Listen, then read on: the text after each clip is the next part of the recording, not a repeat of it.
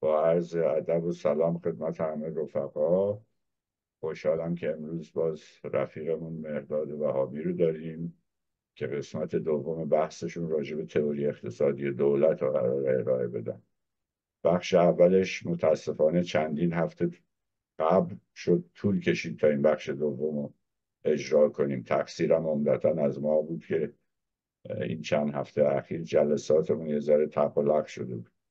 به هر حال با پوزش از رفیق مرداد و سایر رفقا خوشحالیم که بالاخره تونستی بخش دوم این بحث رو بذاریم. بخش اول بحث رفیقمون توی چیز سایت ها هست توی سایت خود این اتاق و همجور توی یوتیوب هست یا تو شبکه های اجتماعی هست لینکاش. رفقایی که ندیدن من توصیه می‌کنم حتما اون ویدیوها رو ببینن و گوش کنن چون با اینکه به قول رفیقمون مرداد یه بحث مقدماتی بود ولی بحث مقدماتی بود که واقعا خیلی جامع و خیلی از مسائل مختلف و متفاوت رو در بر گرفت. و خیلی شاید سنگین بود برای رفقا که در همون جلسه همه داره به جذب کنن حتی اونایی هم که تو خود جلسه بودن و نوار دیدن من توصیه می‌کنم دوباره یه مروری بکنن. چون رفیقمون نه تنها به نظرات بسا کلاسیک و نئو کلاسیک و کینزیان و مارکسیستی پرداخت بلکه وارد نظرات بسا جدید هم شد. نظرات خیلی مدرن تری که از دولت این روزا مطرحه وارد این تیپ مسائل هم شدن و تازه تئوری دولت هم از جوانب مختلفی بررسی کردن. تئوری حقوقی دولت تئوری سیاسی دولت تئوری اجتماعی دولت.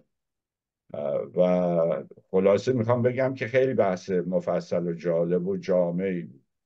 چه برای این رفقایی که می‌خوان بحث بسا اصلی رفیقمون یعنی سر تئوری های اقتصادی دولت رو دنبال کنن واقعا لازمه که تونستن دوباره به اون بحثا برگردن. امیدوارم به هر حال من مقدمه دار درستی نگفته باشم از حرف رفیقمون مهرداد اگه خواستن می‌تونن منو تحصیل کنه من دیگه بیش از این فضولی نمی‌کنم. اگه رفیقمون آمادن بفرمان و صحبتشون رو شروع کنم با کمال میل تراب جان. با سلام به رفیقم تراب سالس و به همه دستن در کاران قروم انقلاب مخاطبین و حضاری که امروز قبول زحمت کردن لطف کردن. آمدن به عرایز بنده گوش بدن. به نظرم تراب مقدمه خیلی خوبی گفت. قسمت نخست این بحث در 15 ماه می برگزار شد. با یه فاصله قسمت دوم در هفته اوت امروز برگزار میشه. مبنای اندیشه تئوری اقتصادی دولته بنابراین لازم بود در یک مقدمی انواع دیگر تئوری یا دریچه های مختلفی که به مسئله دولت میشه نگاه کرد از نگاه حقوقی از نگاه سیاسی از نگاه جامعه شناختی و البته تلفیقهایی از اینها مثل جامعه شناسی سیاسی به اصطلاح به دولت لازم نگاه بشه. لازم بود در این حال گفته بشه که اندیشه مارکس چرا علا رقمی که راجع به دولت بسیار گفته اون فصلی رو کتابی رو که قول داده بود در گرونریس در واقع در مورد تئوری دولت به لحاظ اقتصادی بنویسه جاش خالی بوده و آنچه که من می‌کنم به سهم خودم ادای دینی هست به این موضوع. باید در این حال در همین جا خدمتون عرض بکنم که در تئوری اقتصاددانان کلاسیک از آدام اسمیت بگیرید ریکاردو مفهوم اقتصاد سیاسی یک تئوری همزمان یا توامان اقتصاد و سیاست بوده و اکثر اینا اگر اقتصاد سیاسی رو که ببینید تیتر عنوان کتاب ها من جمله ریکاردو اقتصاد سیاسی و نیز مالیاته. بنابراین مسئله دولت و ما همین امروز هم در اقتصاد مدر از ریکاردین اکویولنس صحبت می کنیم از ترادف یا مترادف بودن در نزد ریکاردو که چگونه در واقع از طریق مالیات میشه هزینه های دولت رو داد یا از طریق دیگه من جمله اخص وام از جانب دولت این کار رو میشه انجام داد. در حال می‌خوام بگم که مسئله دولت به عنوان یک رکن اقتصاد از ابتدا در نزد کلاسیکا مطرح بوده. در ادبیات مارکسیستی راجع به اون یک خلا وجود داره. اگرچه بسیاری روش کار کردن ولی همچنان به نظر من یه حوزه به اصطلاح مکشوف نشده است یا کمتر کار شده است. خب من در این جلسه صرفا راجع به تئوری اقتصادی دولت صحبت خواهم کرد. تئوری که اینجا ارائه خواهم داد تئوری من هست. برای خودش در سطح میان اقتصاددان ها و بسیار پژوهشگران علوم سیاسی تا حدودی این تئوری مطرح شده و شناخته شده. ولی باید بگم که به هیچ وجه تئوری غالب نیست. و اگرچه این بر پایه های بسیار قدیمی استوار آنچه که من اینجا خدمتون عرض می کنم ولی باید این رو به عنوان یک نظریه کاملا جدید در اقتصاد بهش در نظر گرفت. من برای اینکه می‌دونم صحبتی که در اینجا می‌کنم برای من از این زاویه مطرحه که به قول معروف یک جور گایدلاین باشه. چگونه کارهای من خونده بشه. درست؟ یعنی خود سخنرانی بیشتر برای شما یه به اصطلاح راهنمایی هست جهت تعقیب بهتر کارهایی که تا کنون من انجام شدم و به طور مکتوب وجود داره. بنابراین طبیعی که مخاطبینی که در این جلسه یا دیگرانی که گوش خواهند داد باید در نظر بگیرند که اونچه من میگم واقعا در سطح جمع و جور کردن بحثه سهولت بخشیدن به اونچه که من تا کنون کردم و باید در واقع یه کاری خودشون بکنن. به این معنا مخاطبین این جلسه می‌تونن محدود باشن به یک معنا. برای مقیاس عمومی شاید اونقدر مفید نباشد برای اینکه لازمه که نه فقط گوش داده بشه بلکه روش کار بشه و بدون کار مقدماتی و بدون دنبال کردن همه مطالب واقعا این بحث نجویده باقی خب من این مقدمات گفتم تا توضیح بدم چرا اول می‌خوام راجع منابعی که پیرامون تئوری اقتصادی دولت هست خوبه یه اشاراتی بکنیم. اول از همه با سپاس قدیمین از رادیو زمانه دوست عزیزم محمد رضا نیکفرم اینجا هست. او خودش یکی از کسانی بود که محبت کرد برای سازمان دادن این بحثا و همینطور آقای علی فتووتی. ده سخنرانی من داشتم از سال 1399 شروع شد یعنی چهار سال پیش و به ده جلسه طول کشید یا سال 2020 از این جلسات دهگانه من پنج جلسه رو به شما پیشنهاد می‌کنم که اگر به صلاح گوش بدید بهتر یه سری از نکات رو که در این بحث مطرح می‌کنم می‌تونید دنبال کنید. موضوع تم کلی صحبت من در رادیو زمانه عبارت بود از اقتصاد سیاسی قارت جلسه پنجم ششم. هفتم و هشتم به ماجرای دولت به خصوص از نگاه دولت قارتگر اختصاص داره. این جلسات هر هفته برگزار می‌شد. روزهای جمعه پنج اردیبهشت 1399 یا 24 آوریل 2020 نخستین جلسه بود و سپس همیشه با توالی هفتگی انجام می‌شد. دومیش اول ماه می 2020 سومی هشتم ماه می 2020 و چهارمیش 15 ماه مه 2020 البته در نظر داشته باشید که وقتی من میگم اول دوم سوم چهارم منظورم جلسه اولش نیست. این از جلسه پنجم تا جلسه هشتمه که به بحث امروز ما مرتبط. علاوه بر اینا باید من به یه سری منابع مکتوب به انگلیسی اشاره کنم که نخستینش کتاب من در سال 2015 اقتصاد سیاسی قارت که به انگلیسی هست. دومیش مقاله است در پابلیک چویس این مقاله دارای اهمیت خاصی هست که تئوری اثباتی دولت غارتگر بود. در اینجا واقعا این اندیشه به صورت چکیده ای از کتاب 2015 آمد. سپس مقالم در 2018 بود به نام به اصطلاح نفرین منابع طبیعی از نگاه تصاحب پذیری و یک بررسی انتقادی بود که در پابلیک چویس 2018 در آمد. و بعد در 2020 من یک شماره ویژه‌ای رو اداره کردم در نشریه پابلیک چویس که اختصاص داشت به دولت غارتگر و مقدمه ای نوشتم. این مقدمه امروز 14 هزار بار دیده شده خونده شده و تقریبا میشه گفت یه حالت کلاسیک پیدا کرده. مقدمه کوتاهی به فارسی ترجمه شده و بسیار زیادم نیست. چند همونطوری که می‌بینید در واقع در حد نه صفحه هستش نه ده صفحه هستش کلش که به صورت خیلی فشرده یه سری از ایده ها مطرح شده. علاوه بر این مقاله دیگری تو همون شماره 2020 در آمده که در مورد دولت رفاه قارتگره این اصطلاح شاید به گوش آشنا نمیاد چون ما همواره دولت رفاه رو به ویژه از نگرش سوسیال دموکراسی یه چیز خارق العاده عالی و غیره تلقی کردیم. و اینجا من نشون میدم در واقع چرا این دیدگاه فوق العاده نارساس نادقیق و به اصطلاح نادرسته که از جانب سوسیال دموکراسی ترویج شد از جانب بلوک شوروی هم ترویج شد و یه ایده های بسیار ناسحی رو جای انداخت. راجع به جایگاه دولت رفاه و چه نقشی رو بازی می‌کنه. با نمونه رجوع به نمونه الگوی دولت رفاه در فرانسه که دولت رفاه نبود. رفاهی بود که خود کارگران از طریق خودمدیریتی سازمان داده و اینجا در واقع این مقاله تشریح می‌کنه که چگونه دولت رفاه در واقع غصب کردن این امر از خودمدیریتی کارگران بود که دولت به تصاحبش در بیاره.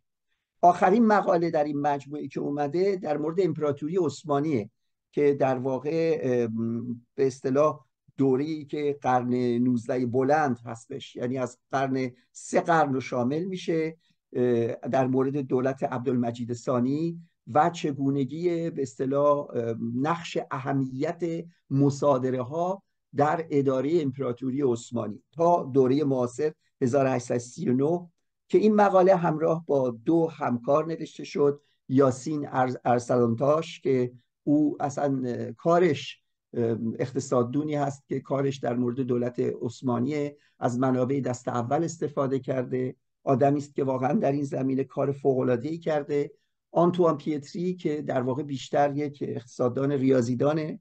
و من که در واقع اونچه که من در تئوریام بود جالبه که خیلی جالبه. در کارهای اسناد درجه یک دسته یک امپراتوری عثمانی می‌بینید یه سری اصلا مفاهیمی که من عنوان کرده بودم مثل دارایی های اسیر و دربند یا دارایی های گریسپا اصلا توی این متن میشه دید در گذشته.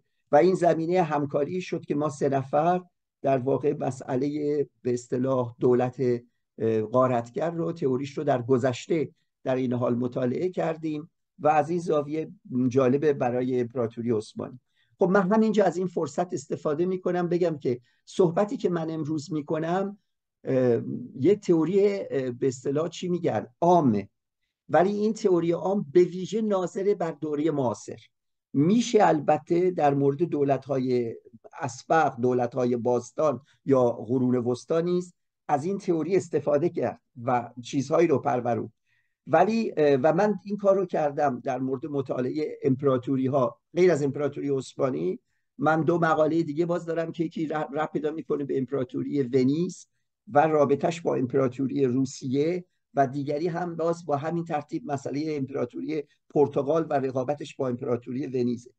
به هر حال به گمان من تئوری دولت تئوری که باید به لحاظ تاریخی اهمیت داره بررسی بشه مبانی پیدایش دولت. ولی باید با نظر به دولت معاصر من کارم رو انجام دادم و امروز بیشتر از این زاویه است که موضوع رو مورد بررسی قرار خواهم داد. ولی فراموش نکنید که این مسئله حتی در مورد امپراتوری های اسبق هم حائز اهمیت و باید مطالعه بشه. یه تئوری اقتصادی دولت باید قادر باشه که یک جامع شمول باشه. دوره های مختلفی از تاریخ رو بتونه بپوشونه ولی باید کاتگوری هایی که به کار گرفته میشه مقولاتی که به کار می گرفته میشه برای هر دوره تاریخی مبانی و مفاهیم نوع خودش رو حامل باشه. خب من در اینجا فهرست موضوعاتی که این روز می‌خوام بهشون بپردازم رو خدمتون عرض می‌کنم. اگر رفیق جمال لطف کنن فهرست موضوعات رو روی صفحه به اشتراک بذارن تا خیلی سریع بتونیم ببینیم. خب مقدمه رو گفتم بنابراین مقدمه در واقع زیاد مکس نیست مقدمه همون اشاره است. خیلی سریع رد خواهم شد. صحبتم از چهار بخش تشکیل میشه. بخش اول دولت از دیدگاه اقتصادی یعنی چی؟ چجوری باید دولت رو معرفی کرد؟ بخش دومم رابطه سرمایه و دولت. خب مشاهده می‌کنید که من بلافاصله از آغاز عصر جدید از دوره سرمایهداری آغاز می‌کنم و خیلی به گذشته نمیرم. سوم اینکه تاکید من اینجا هست و این قلب تئوری منه. ما برای اینکه بتونیم تئوری اقتصادی دولت بدیم باید یه تئوری ارزش جدید بدیم. تئوری ارزش که کارل مارکس یا دیگر اقتصاددانان کلاسیک مطرح کردن و همینطور نئوکلاسیک ها مطالعه تئوری ارزش بود در محدوده اقتصاد بازار. سوالی که با اینجا باید از خودمون بکنیم اینه که ارزش از دیدگاه دولت چه است؟ نه از دیدگاه بازار. بخش چهارم در واقع تئوری استراتژی های توسعه فضای دولتیه چجوری دولت گسترش می‌تونه پیدا بکنه فضای دولتی می‌تونه گسترش پیدا کنه و نتایج. بخش نتایج برای من اینه که اون که اینجا بیان می‌کنم در واقع در مورد تئوری اقتصادی دولت قادر باشه به ما یاری برسونه که بتونیم مسائل مدرن روز رو مثل جهانی شدن globalization و یا جهانی نشدن یا کم شدن از جهانی شدن. deglobalization که امروزه خیلی رایج شده در واقع در این دو دهه اخیر بعد از به خصوص اومدن در واقع دوره ترامپ بالاخص این رو بتونه توضیح بده که چه عواملی در globalization جهانی شدن و deglobalization جایگاه دولت در واقع چه است و چگونه میشه توضیح داد. خب پس من از مقدمه به خیلی به طور اختصار رد میشم و اون دو جمله است. حتما توجه کرد. در منشأ خانواده مالکت خصوصی دولت انگلس تعریفی ارائه میده. از دولت به مسابه دسته ویژه از افراد مسلح که در یک قلمرو رو پاسداری می‌کنن. عین این تعریف نقل شده در کتاب دولت و انقلاب لنین. بنابراین در این نگاه وقتی می‌خوان دولت رو تعریف کنن به عنوان ارتش ازش یاد می‌کنن. دسته مسلحی از افراد که یک قلمروی رو اداره می‌کنن. این ارتش در واقع برجسته میشه. همینطور اگر شما کار روسو رو نگاه بکنید از دولت می‌خواد صحبت کنه از social contract صحبت می‌کنه. از قرارداد اجتماعی صحبت می‌کنه. و شما اگر بخواید به اصطلاح کارهای مثلا مکس وبر رو اینا رو ببینید از دولت وقتی صحبت می‌کنه انحصار خشونت که آقای مراد فرادپور راجع به این خیلی نقطه تاکید صحبت داشتن و منابع مشروعیت یاد می‌کنه و اونجا هستش که در واقع رابطه اجتماعی هست. حالا در اندیشه کارل مارکس مسئله اینکه دولت ابزار حاکمیت یک طبقه است یعنی جامعه شناسی سیاسی. در اینجا من دولت رو چه می‌بینم؟ دولت در اینجا برای من دسته ویژه از افراد مسلح نیست. قرارداد اجتماعی هست ولی به یه معنای خاصی و نیز به معنای در واقع عناصر مشروعیتش و اینها هم برای من کاملا در اینجا فرقیه. دولت از اینجا برای من در این تعریف عبارت هستش از دستگاه مالیات ستانی دستگاهی که مالیات اخذ می‌کنه. به عبارت دیگر دولت رابطه مالیات ده و مالیات ستانه. در اینجا اشارهش خیلی مهم هست که این رو بگم. یعنی collector of taxes. وقتی دولت صحبت می‌کنید یعنی دسته ای از افراد که میان مالیات اخذ می‌کنن مالیات جمع می‌کنن. و این همون در واقع اولین شکل مهم اخذ اضافه محصوله. اگر یک جایی surplus value surplus product یعنی اضافه کالا اضافه محصول باشه همون دولت دولت اولین نقش غارتگرش از همینجاست.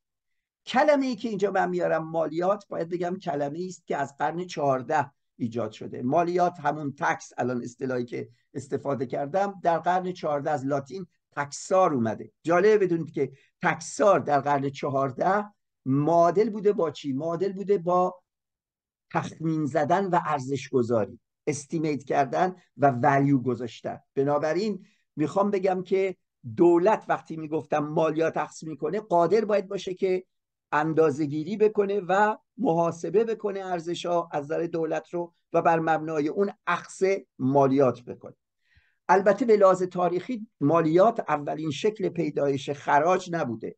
مثلا شما اگر کار اورمرود رو نگاه کنید اورمرود کسیه که در مورد تاریخ دولت ها باستان بسیار کار کرد در 1999 کتابش در اومد. اون چهار مرحله کرد ماجرای مالیات رو. اول گفت tribute state دولت های خراج ستان. دوم domain state دولت هایی که خودش یه پادشاهی بوده ملکی داشته و بر مبنای اون ملک درآمدش رو کسب می‌کرده. دستگاه ویژه‌ای نداشته. سوم tax state بوده که مالیات وضع می‌کرده خارج از فقط محدوده domain state و چهارم fiscal state بوده دولت مالیاتی مدرن که این مفهوم fiscal state و نقشی که پیدا کرده رو جوزف الویز شومپتر در یه مقاله بسیار مطولی در 2014 راجبش میگم 2014 راجبش مطلب مفصلی نوشته. یکی از مقالات بسیار کلاسیکیه که چندین و چند بار این تجدید چاپ شده راجبش کار شده که دولت fiscal یعنی چه و چه اهمیتی داره. بنابراین وقتی از تئوری اقتصادی دولت صحبت می‌کنم منظورم رابطه یک دستگاهی است که مالیات میستانه. باید کلمه مالیات رو بسیار در گیومه گذاشت چون خیلی چیزهای دیگه هست. همواره مالیات نبوده. می‌تونه خراج باشه می‌تونه درآمد یک منطقه دومین باشه می‌تونه دولت مالیاتی مدرن باشه و می‌تونه تکس باشه. و تکس هم به یک معنا یک نوع سرمایه گذاری مشترک بسیاری جا بهش گفته شده بین پادشاه مونارک و به ویژه مونارک مطلقه و تجار تجار و رباخاران یا بانکدارها نیروهای مالیه که اینا برای قارت یعنی جنگ در غرب بویژه تاریخ ایران متفاوته. تاریخ شرق تفاوت‌های زیادی داره. ولی در غرب در واقع جنگ بوده که دولت ها رو ایجاد کرده و پشت جنگ هم همین مالیات پرداخت مالیات بوده که یک جور سرمایه گذاری مشترک بوده بین پادشاه و تجار و دیگر به اصطلاح بانکدارها یا صاحبین سرمایه مالی و بانک. خب من اولین نکتم در مورد مسئله مالیات و مالیات این بود و این معناش چیه؟ مالیات یعنی چی و اهمیتش چیه؟ در کلمه تکسار من گفتم یعنی تو استیمیت تو ولیو ارزیابی کردن تخمین ارزش زدن. این به این معناست که مالیات نگاه دولت به ارزش کالا. و وقتی میگم ارزش کالا فقط کالاها نیستن بلکه همچنین دارایی ها هستند و همچنین درآمد. یعنی دولت به اشخاص خودش که حالا اینا می‌تونن اتباعش باشن اتباع دولت می‌تونن در واقع خدمش باشن سابجکت باشن یا می‌تونن شهروند باشن. این در واقع رابطه شهروند با دولت یا رابطه دولت با خدمش اینا باز تحول تاریخی دولت به لحاظ حقوقی که موضوع صحبت من نیست. در اینجا مسئله اینه که این دولت چگونه ارزیابی می‌کنه ارزشیابی می‌کنه کالاهای تولید شده و فروخته شده. یا کالاهای تولید شده و بعد به تصاحب در آمده از گندم و غلات بگیرید تا پارچه تا ابریشم و فلفل و یا دارایی ها دارایی ها اون چیزهایی که حالا می‌تونه سهام یک شرکت باشه می‌تونه در واقع یک مغازه باشه یا چیزهای دیگه و نیز یا زمین باشه به عنوان دارایی و نیز درآمدی که شما دارید. خب اینا همواره در طول تاریخ به یک شکل ازشون مالیات اخذ نمی شده تاریخ مالیات تاریخ دولت و نحوه اخذش. مالیات مستقیم غیر مستقیم مالیات بر شراب مالیات بر نمک.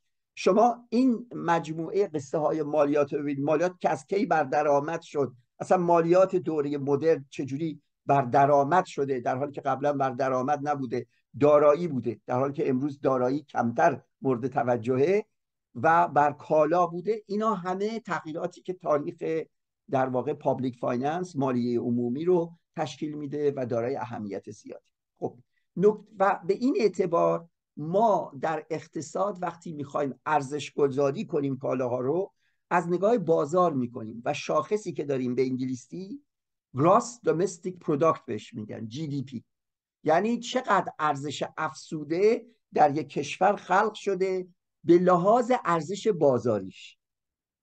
آیا ما برای مالیات هم یه شاخصی داریم؟ برخی از سیاستمدارهایی که رو دولت کار کردن مثل جیمز اسکات پیشنهاد می‌کنن که برای مطالعه تاریخ دولت ها و درآمدهاشون بهتر از مفهوم SAP استفاده کنیم.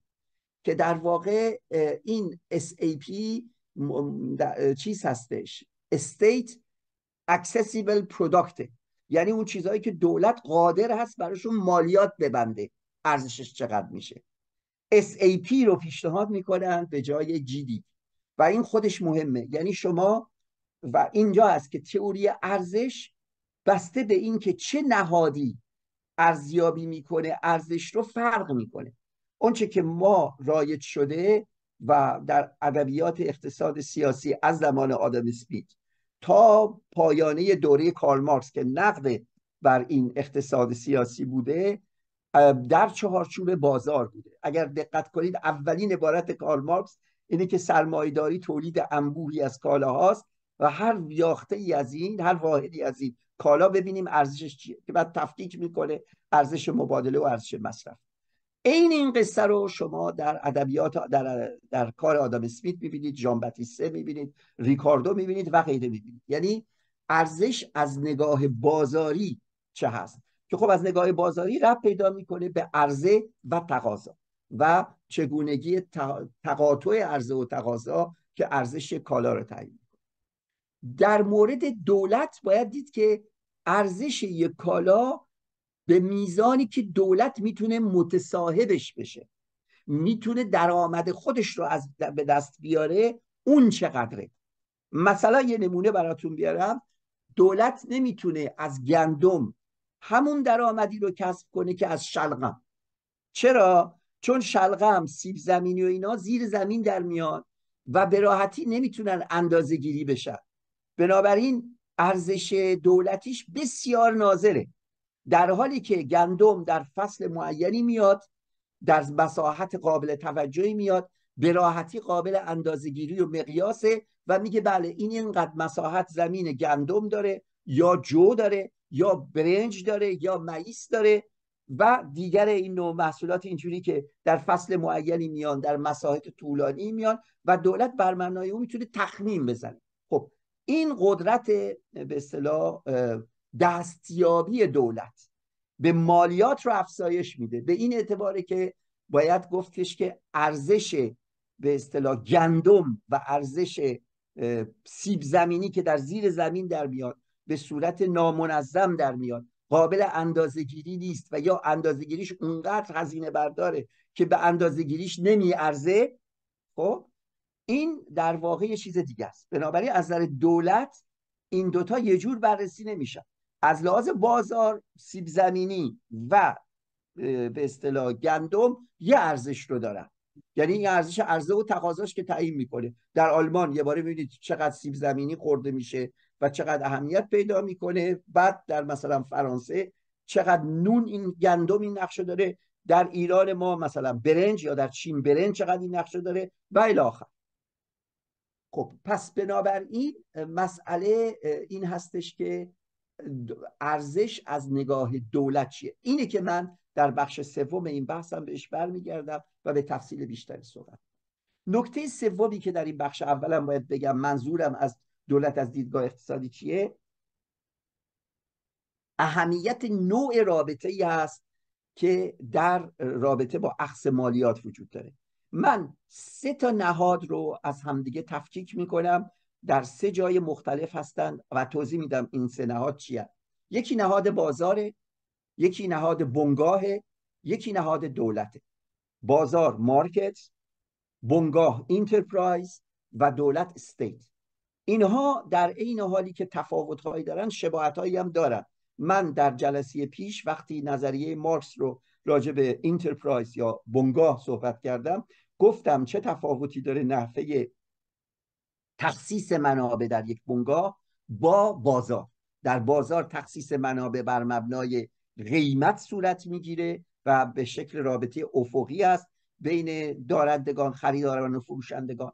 در حالی که در بنگاه رابطه هیرارشیکه و نه بر مبنای قیمت بلکه بر مبنای دستور کماند صورت می‌گیره. خب این سه تا نهاد رو میشه از زاویه میزان قدرت چانهزنی اعضای شاکله اونها توضیح داد.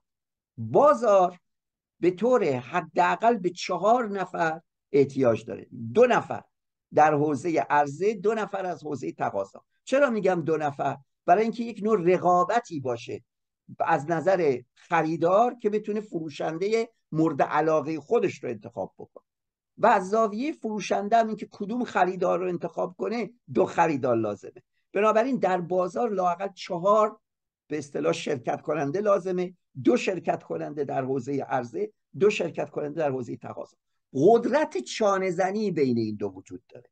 خب طبیعی هست که آن کسی که پول در دستشه قدرت چانه بیشتری داره تا اونی که فاقد پوله. برای اینکه پول دارای خصلت ارزش عام است و می‌تونه هر کالایی رو بخره. ولی شما هر کالایی رو داشته باشید بلافاصله نمی‌تونید به یک کالای دیگه تبدیل کنید اگر پول نباشه.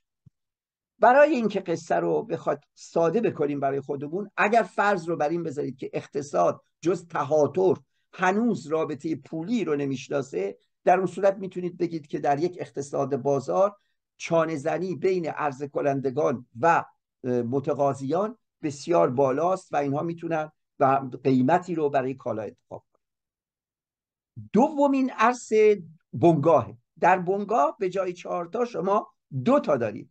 یکی در واقع اون کارفرماست و یکی کارگر.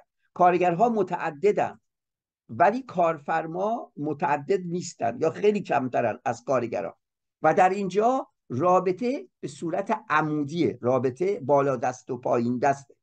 در اینجا علل اصول قدرت چانه برای کارگر بسیار کمه. به ویژه اگر کارگر فردی عمل کنه و به صورت جمع نشده باشه و قدرت کارفرما در چانه زنی بسیار بالاتره هم به دلیل اینکه صاحب ملک هست و هم به دلیل اینکه می‌تونه به راحتی اقدام بکنه به خاطر قدرتی که بر پول داره سرمایه داره و در مذاکراتش. و بنابراین رئیس کارخانه رئیس خانواده پدر سالار کارخانه در گام اول خود کارفرماست. که البته این به مرور ایام می‌تونه از طریق جمع شدن کارگران و تشکیل یک نیروی واحده عوض بشه که این رو ما در واقع بهش به اصطلاح میگیم مذاکرات جمعی یا مذاکرات دو جانبه وقتی که هم کارگران قدرت تشکل و سندیکایی شدن پیدا می‌کنن و هم کارفرمایان می‌تونن متشکل و سندیکایی بشن. در اینجا ما قدرت چانه زنی داریم ولی قدرت چانه زنیمون نسبت به بازار کمتره. برای چی نسبت به بازار کمتره؟ برای اینکه کارگر نمی‌خواد به راحتی از کارخونه بره بیرون. کارگر می‌خواد تو کارخونه بمونه در حالی که در بین دو خریدار و فروشنده در بازار اگر شما راضی نباشید می‌تونید از یکی نخرید و از دیگری بخرید. بنابراین در اینجا باید در واقع از طریق صحبت کردن مذاکره کردن استفاده از های فشار مثل اعتصاب مثل petition picketing و غیره استفاده بشه تا به یه نتیجه برسیم و سوم دولته. در دولت رابطه مالیات ده است و مالیات ستان در اینجا دیگه قدرت مذاکره نیست. اونی که مالیات بخواد بده اگر نمی‌تونم بده چرا نیست؟ به خاطر اینکه در اینجا مالیات یک فرده مالیات ستان یک نهاد جمعیه. بنابراین قدرت مذاکره بین این دو بسیار کم میشه. تنها راهش اینه که شما اصلا اون کشور رو ترک بکنید فرار کنید یا اینکه دست به شورش علیه مالیات بزنید. خب در مورد نحوه های مقاومت ما اقتصاددانی داریم به نام هیرشمن آلبرت هیرشمن که از یک دوگانه استفاده کرد. دوگانه که او استفاده کرد دوگانه در واقع خروج و به اصطلاح صدا بود. exit and voice. exit یعنی خارج شدن رای دادن از طریق به اصطلاح با پا. مشتری رو هست اونجا مشتری ناراضیه خریداری رو که فروشنده ای که داره نمی‌خواد مغازش عوض می‌کنه. این exit که بیشتر برای معاملات اقتصادی اشاره می شده و voice زمانی که شما به راحتی از یه جایی نمی‌تونید خارج بشید مثلا کارمند بخش دولتی هستید. و باید بمونید و سعی کنید اوضاع رو بهبود ببخشید. از طریق مذاکره از طریق اعمال فشار از طریق به اصطلاح نارضایتی و غیره این رو به اصطلاح ازش voice نام بردن. در واقع تفاوت exit خروج از قواعده voice اعتراض کردن در محدوده قواعد. من مفهوم سومی رو اضافه کردم به این دوگانه آلبرت هیرشمن که مفهوم scream بوده یا فریاد بوده که در واقع در اون شما از محدوده قواعد بیرون میرید برای ایجاد قوانین جدید که همون انقلاب باشه. و این نوع سوم در واقع اعتراض هست که اگر بخوایم مقایسه کنیم وقتی در یک کشوری مشکلات زیاده یه دی ازش مهاجرت می‌کنه.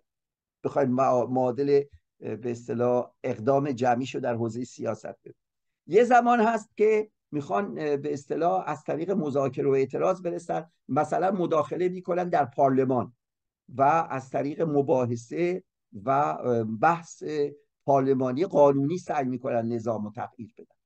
و بعد سومی که در واقع قیامه. قیام در واقع یک جور خروجه.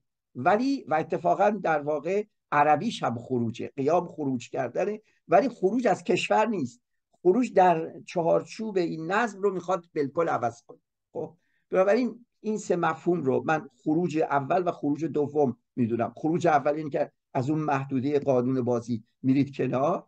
دومی وایس هست صدا کردنه و سوم هم در واقع به اصطلاح نیروی براندازیه نیروی تغییر قانون هستش.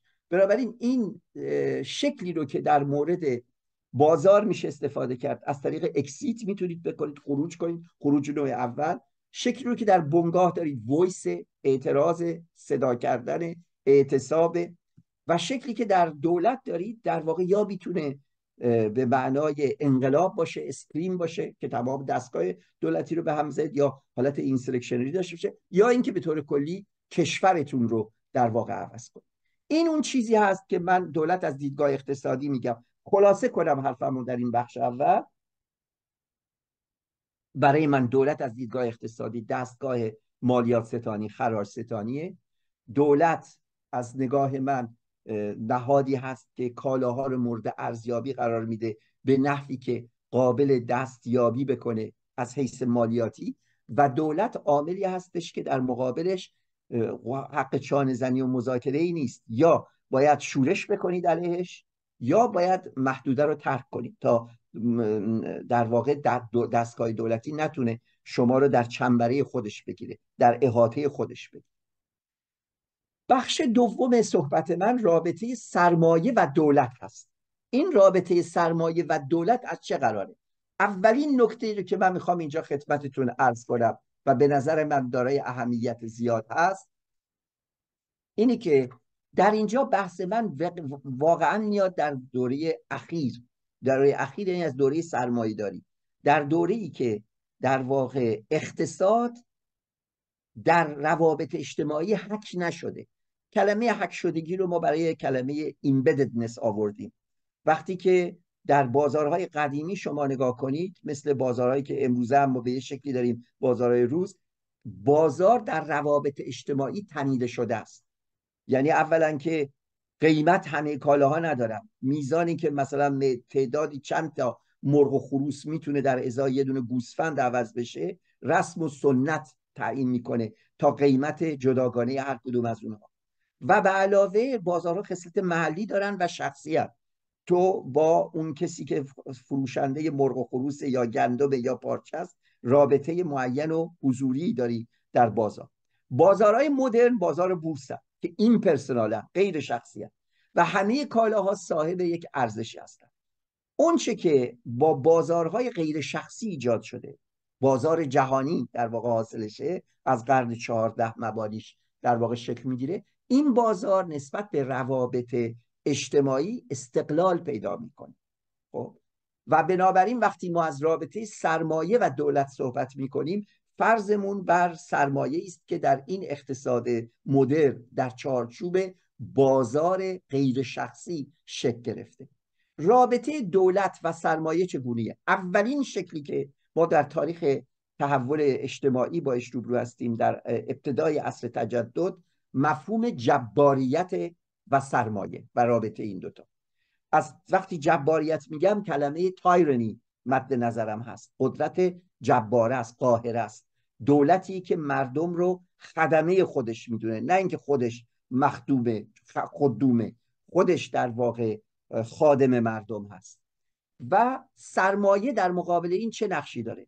اولین چیزی که ما می‌بینیم در کارهای مونتسکیوه میرابوه تورگوه دکتر کنست آدم اسمیت جان استوارت میله و کارل مارکس. در همه اینا ما می‌بینیم مفهوم گریزپایی سرمایه است.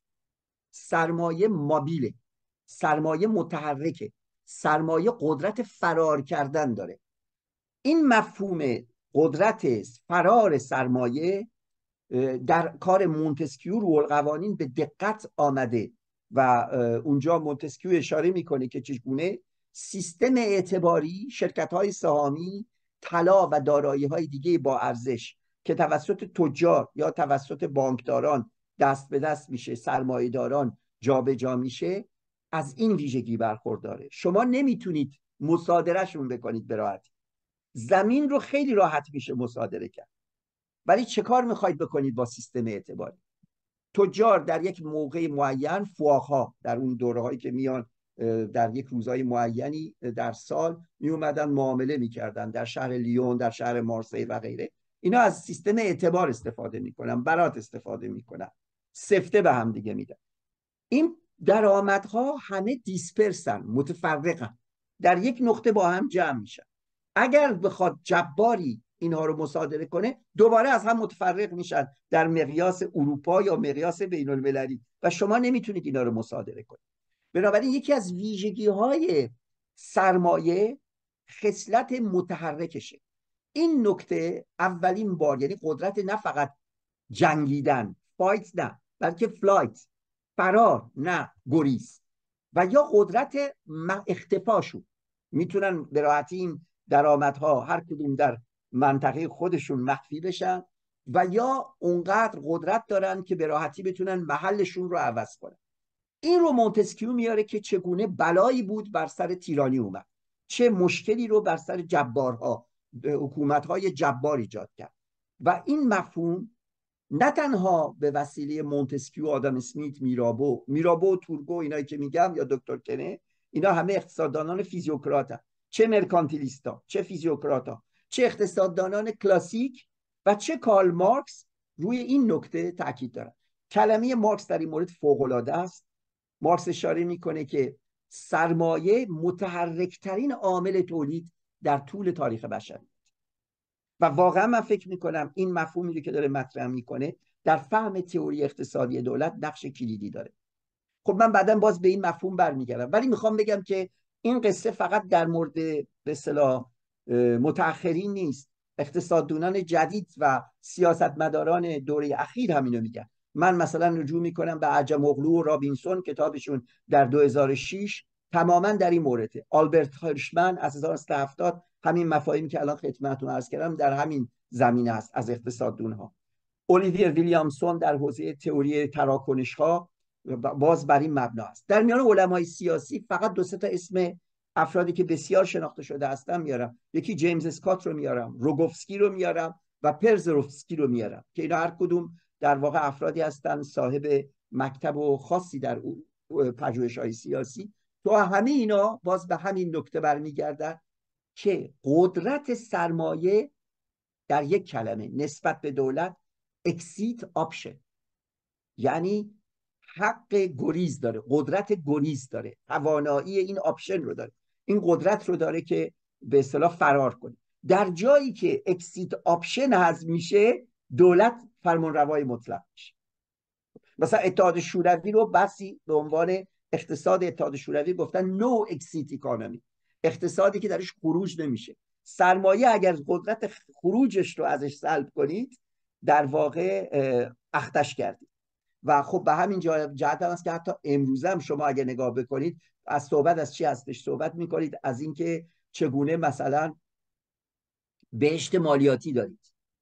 چگونه فرار مالیاتی صورت می‌گیره. یا فتح FATF برای چی FATF یه نوع هماهنگی دولت هاست برای ردیابی سرمایه یا مالیات توبین برای سرمایه برای سهام ها باز همینه. ردیابی اندازهگیری ارزششون و مالیات اخذ کردن. بنابراین می‌خوام روی اهمیت exit option اشاره کنم و exit option یه خصلتی رو به سرمایه میده که این خصلت رو ما در یهودیان می‌بینیم و در کولی ها کسانی که بی سرزمینن کسانی که سرگردانن یهودی سرگردان و کولی سرگردان. قدرت عدم سکونته. ولی به این ختم نمیشه. افراد بی سرزمین در طول تاریخ بشری نقش بسیار زیادی داشتن. امروز هم زیاد شدن. سوریایی هایی که اومدن به اروپا عراقی هایی که اومدن ایرانی هایی که اومدن. افراد stateless people. اینا در واقع حتی پناهنده نیستن. کلمه پناهنده کلمه نادقیقی است برای توصیف اینا. در این مورد مثلا جیمز اسکات زیاد کرد. شما اقوام نماد رو دارید. اقوام سیار به اصطلاح بادیه نشینی رو دارید که جاشون عوض می‌کنن. اشیره ها رو دارید. و نیز کوپای نشین ها رو دارید. خب؟ اینا گروهایی هستند که خیلی اهمیت دارن. می‌خوام این نکته رو بگم که در عبارتی که مارکس در مانیفست به کمونیست آورد کارگران میهن ندارند یا ملت ندارند حالا راجع به این کلی صحبت و قلم زده شده در واقع کارگران سراسر جهان متحد شوید. کارگران میهن ندارند یعنی یه جوری می‌خواد کارل مارکس کارگران را هم مثل سرمایه قدرت تحرک بده.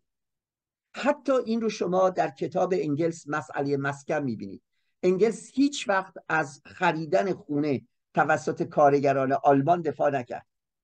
و به طور کلی کارگران رو می‌گفت خریدن خونه دست و پاشون رو میبنده. مسئله تحرک براش خیلی مهم بود.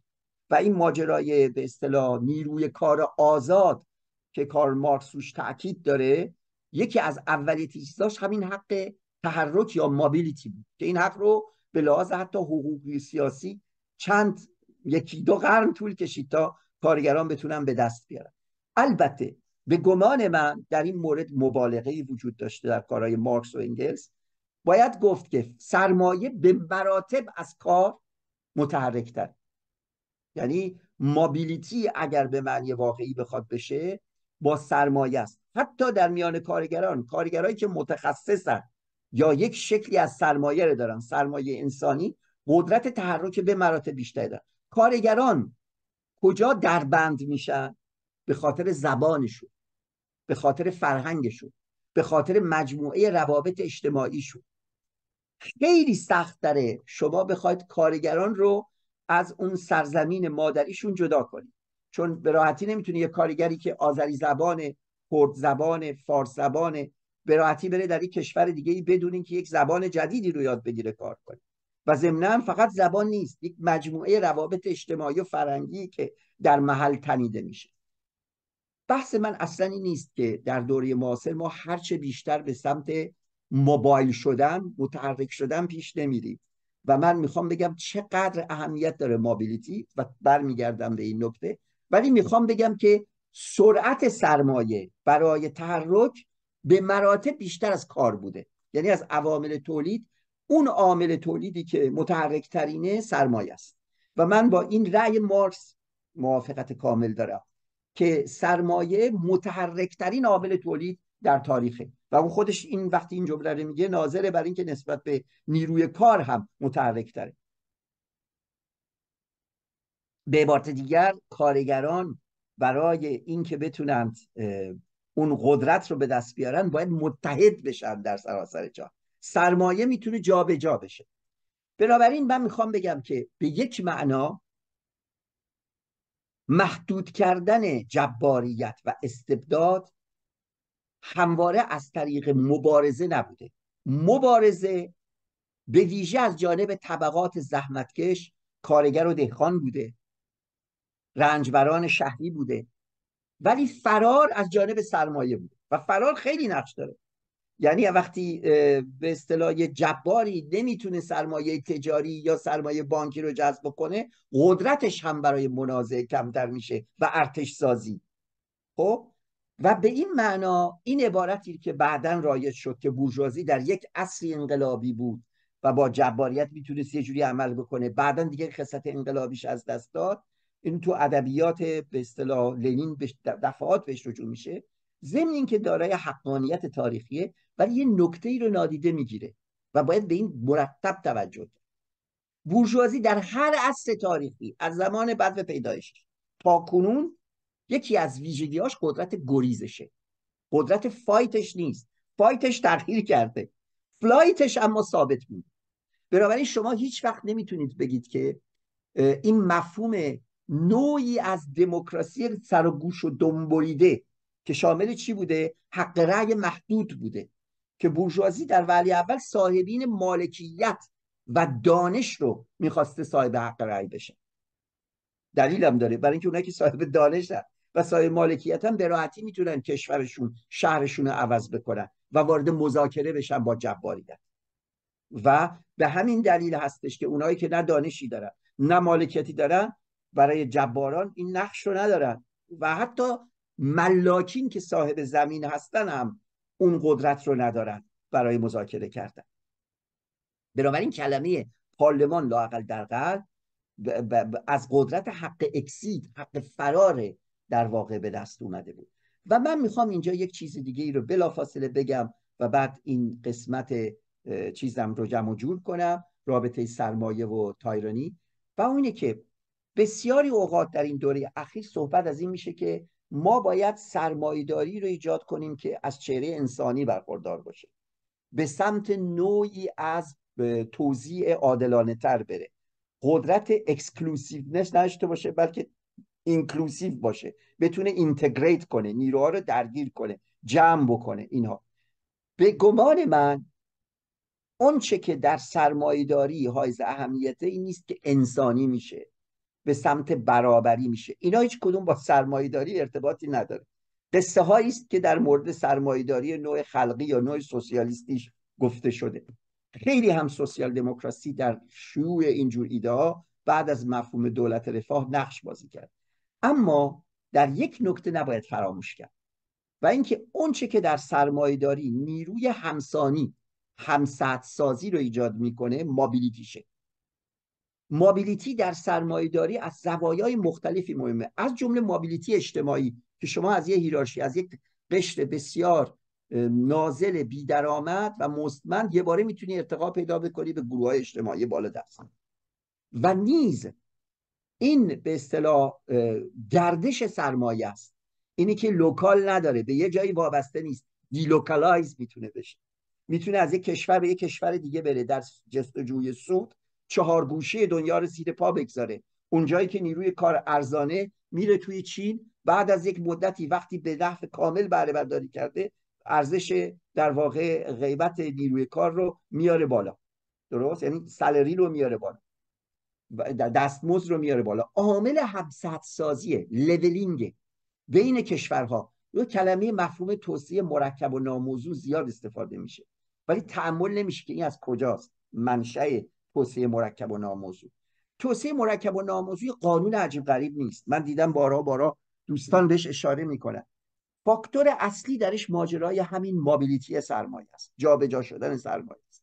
که در این باعث میشه که یک جور leveling ایجاد بشه. اگر شما میزان رشد اقتصادی چین رو قبل از اینکه بازارها گشوده بشن با بعدش نگاه کنید ببینید که در سطح جهان در داخل چین فقر کمتر نشده بیشتر شده. ولی سطح رشد متوسط درآمد ملی چین نسبت به دیگر جهات دنیا کمتر این شکاف شده و این نزدیکتر کرده سطح درآمد چین رو به سطح متوسط دیگر کشورهای پیشرفته از جمله کشورهای اسکاندیناوی و آمریکا. و دلیل این امر همین جابجایی سرمایه است.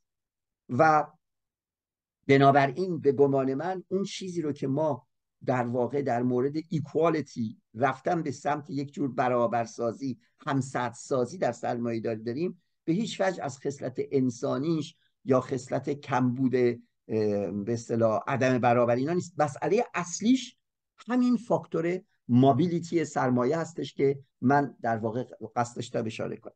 به عبارت دیگر اگر من بخوام فاکتورهای اقتصادی رو که کار و سرمایه باشن زمین رو همه جای خود بذارم. باید بگم که در مورد سرمایه عامل کنترل جباریت قدرت خروج بوده exit power بوده flight بوده فرار بوده گریز بوده. و در مورد طبقات محروم کارگر زحمتکشان شهری و دهاقین insurrection power بوده. قدرت شورش بوده. قدرت خروج به معنای انقلابی کلمه بوده که در تاریخ تونسته این نقش رو بازی کنه. خب در اینجا من می‌خوام یک نکته دیگه رو بعد از آوردن این حرفهای بسیار با ارزش به اصطلاح چیز بکنم در واقع ببینید اینجا پارلمان و حق رأی گریز و شورش رو که من آوردم اینجا می‌خوام روی تمایز قدرت تصاحب دولت از قدرت گریز عوامل تولید یه مکسی بکنم. یک در تمام این ادبیاتی که خدمت شما عرض شود اینجا آورده شد یه در ادبیات کلاسیکی که آوردم و در ادبیات معاصر یه اختشاش مفهومی وجود داره. و این اختشاش مفهومی قبل از کار من روش مکس نشده بوده. در ادبیات کلاسیک و معاصر ما وقتی صحبت می‌کنیم از مسئله به اصطلاح مالیات نکته اصلی رو قدرت تحرک مالیات ده مرکز توجهمون بود یعنی گفتیم اونجایی که مالیات ده می‌تونه متحرک باشه دولت کمتر می‌تونه تصاحب بکنه. کمتر می‌تونه مالیات بستانه. خب؟ ولی اون جنبه دیگر رو نگاه نکردیم. جنبه دیگه این بودی که چقدر قدرت دولت برای تصاحب وجود داره. و قدرت تصاحب دولت یک طرفه به عنوان کسی که مالیات ستانه و قدرت تحرک برای کسی که مالیات دست یه چیز دیگه است. منظورم رو روشن می‌کنم.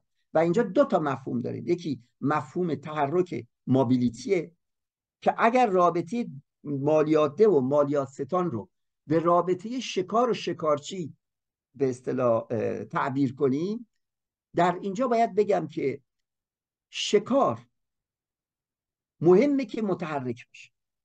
ولی شکارچی باید قدرت سید داشته باشه.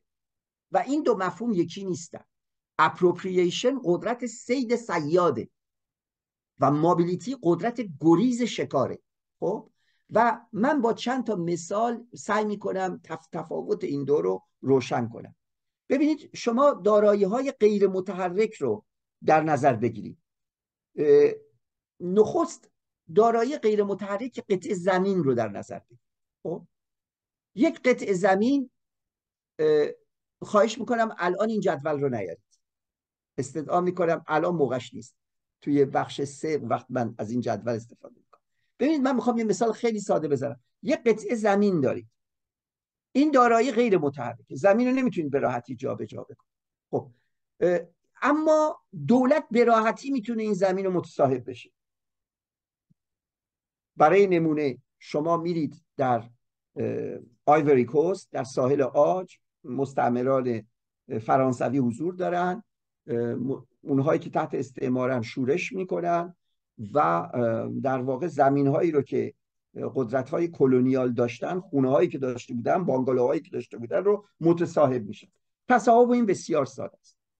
حالا یک نمونه دیگه ای رو میارم از یک دارایی غیر متحرک که به سختی می‌تونه تصاحب بشه. از طریق به کار گرفتن قدرت قهریه. نمونه من شعبه ای از کارخونه ماشینسازی سیتروئنه. خب؟ یا پژوه. این قدرت مستقلی که علیه استعمار به پا خواسته اگر می‌تونه بانگالوهای قدرت های کلونیال رو راحت تصاحب بکنه نمی‌تونه کارخونه شعبه کارخونه سیتروئن رو به راحتی تصاحب کنه. چرا؟ برای اینکه در اونجا یه دانش تخصصی وجود داره. در اونجا یه روابط شبکه ای از روابط بازار وجود داره. و بدون اون دانش تخصصی و مهارتی که به کار گرفته شده در سرهم کردن اجناسی که به اون کارخونه است بدون استفاده از اون ماشینالاتی که می‌تونه ماشین بسازه بدنه ماشین رو بسازه و اونها رو سوار هم بکنه منتاج بکنه و بدون اون شبکه بازاریابی که اون رو قابل فروش بکنه اون شعبه ای از کارخونه سیتروئنی که اونجا مونده چیزی جز یک مجموعه آهن و تکه پاره از آهن بیش نیست که بدون اون مهارت هیچی ازش نمیشه به دست آورد. خب در اینجا می‌بینید که یک طرف قدرت تحرک یک طرف دیگه قدرت تصاحبه. در مورد دومی اون شعبه ای از کارخونه ماشین سازی دولت نمی‌تونه به راحتی اونو متصاحب بشه. در حالی که در مورد یک قطع زمین به راحتتر می‌تونه متصاحب بشه. خب اینو من دلایلش رو بعدا بیشتر میگم. حالا می‌خوام عین اینو در مورد دارایی های متحرک بگم. دارایی هایی هستن که متحرکن و به سختی تصاحب میشن. مثلا دانش یک متخصص. یک دانشمند مثلا فرض بگیرید هسته ای یا یک پزشک حاضر یا یک جراح یا متخصص در امور کامپیوتر و به اصطلاح برنامه نویسی یا رمز شکنی خب این متخصص رو دانشش رو شما نمی‌تونید علا رقم این که این دارایی متحرکه به سختی متصاحب میشید. نمی‌تونید. مثلا فرض بگیرید وقتی که در اتحاد شوروی وقتی بلشویکا قدرت رو گرفتن پزشکا همکاری نمی‌کردن.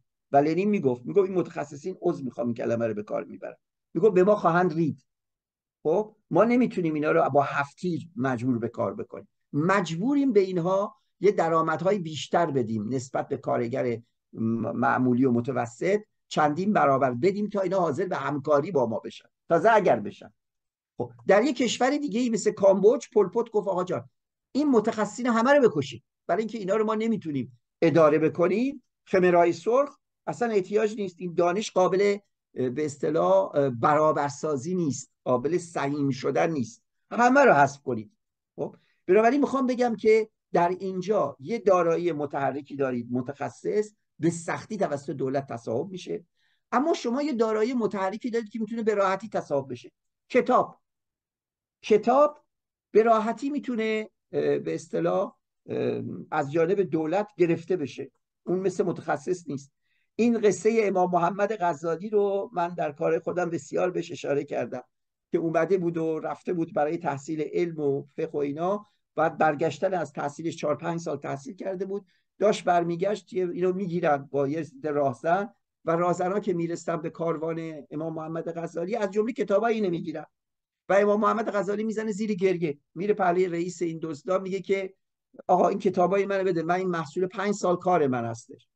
و اون به اصطلاح رئیس سارقین نگاه می‌کنه میگه برو دانشی یاد بگیر که نشه سرقتش کرد. خب؟ بنابراین می‌خوام بگم دانش رو نمی‌تونید شما سرقت به سرقت ببرید ولی کتاب میشه به سرقت ببرید.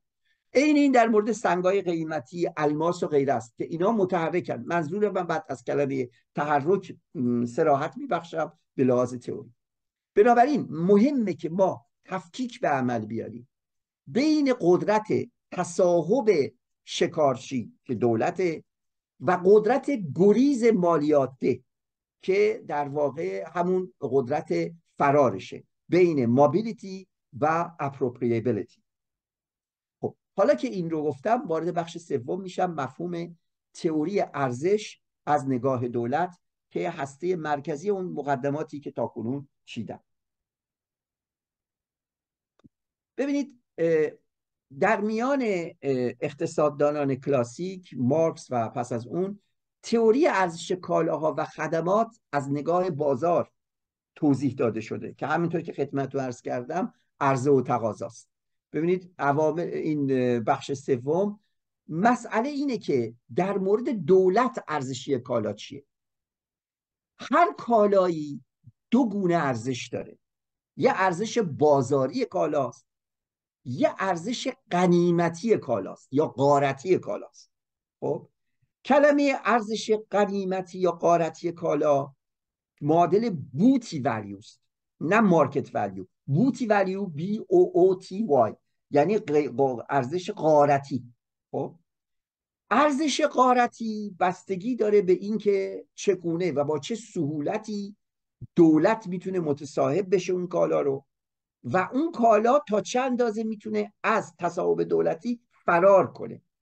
به عبارت دیگر این تئوری تئوری که من در واقع بهش می‌خوام بگم شکل دادن به یه تئوری ارزش در زمانی که قدرت قاهره وجود داشته باشه. یک دولت وجود داشته باشه که باش مذاکره نمیشه کرد. و exit option مهمه. قدرت خروج کالا از زیر چنگال شکارچی هست که مطرح میشه. کلمه booty در واقع value رو تا اونجایی که من دنبال کردم یک اقتصاددان که بیشتر جامعه شناس بود تا اقتصاددان فرانسوی در اوایل قرن بیستم اشاره کرد و این تفکیک بین ارزش قنیمتی کالا و ارزش بازاری کالا رو پیش کشید و اون کسی است به نام گابریل تارت. ما توی جامعه شناسی بیشتر مکس وبر رو از آلمان می‌شناسیم. کارهای گابریل تارت واقعا چیزی کم از مکس وبر نداره ولی کمتر شناخته شده است. در میان جامعه شناسان آمریکایی از دهه 50 و 60 کارهای گابریل تارت خیلی خیلی های اهمیت شد. من به سهمه از او استفاده های زیادی کردم. از جمله در مورد کارهایی که او کرد در مورد دوئل در غرب و جایگاهی که دوئل داشت. و می‌خوام بگم که گابریل تارت به این قصه به درستی توجه کرده بود که یک کالا رو باید دید از چه زاویه‌ای داریم ارزش گذاری می‌کنیم و ارزش غنیمتی کالا چه تفاوتی داره با ارزش بازاری یک کالا. برای فهمیدنش باید ببینیم که عوامل مربوط به قدرت تصاحبی دولت یا اپروپریبیلیتی دولت چیه و عوامل مربوط به قدرت تحرک در واقع شکار شکار یا اونی که در قرار مالیات بهش تعلق بگیره چیه؟ این دوتا رو بسنجیم میشه ارزش بوتی کالا رو پیدا کرد. ارزش قنیمتی کالا. ارزش قنیمتی کالا مترادف با میزان نفعی که از یک کالا به لحاظ سهولت تصاحب از جانب دولت و به میزان سختی که از طریق فرار اون کالا می‌تونه صورت بگیره تعیین میشه. ما به تفاوت قدرت تصاحب که ارزش کالا رو تعیین می‌کنه برای دولت. از قدرت فرار اون کالا گریزپا بودن اون کالا ارزش قنیمتی کالا رو تشکیل میده. من اول مثلا براتون یه نمونه میارم تا قصه روشن بشه. شما یک سرمایه‌داری دارید در فرانسه به نام برنارد تپی که این هزار یک کار کرده از جمله در دوره فرانسوا میتران یک دوره وزیر بوده. خب؟ ایشون خیلی جاها اختلاس کرد و از جمله با بانک کردیت لیونه فرانسه این یه کلاهایی سرشون گذاشت. در این حال برای این تیم مارسی او در واقع اداره کننده صاحب تیم مارسی به هر حال وقتی اومدن در یه جایی بعد از تغییر حکومت میتران اموال او رو متصاحب بشن نکته که مهم بود این بود که خونه اون رو به راحتی می‌تونستن متصاحب بشن. ولی اون درآمدهایی که در کشورهای دیگه از جمله سوئیس داشت و نیز قایقهاش رو به راحتی نمی‌تونستن متصاحب بشن. خب؟ بنابراین شما می‌تونید بگید که آقا سرمایه ای که او در فلان بانک ها گذاشته یا قایقی که داره این سختتر می‌تونه مصادره بشه و تحرک بیشتری داره و به این اعتبار ارزشش برای دولت کمتره تا زمینی که از آنشه یا خونه ای که در پاریس و مارسی داره که به راحتی دولت می‌تونسته متصاحبش بشه. برای این امر بنابراین لازم هست که ما عواملی که تعیین کننده قدرت تصاحبی کالا هست رو هم تعریف کنیم و اما عواملی که بیان قدرت فرار یک به اصطلاح کالا هست رو اون رو هم بیان کنیم. من اول از همه از عوامل مربوط به قدرت تصاحب دولتی یاد می‌کنم.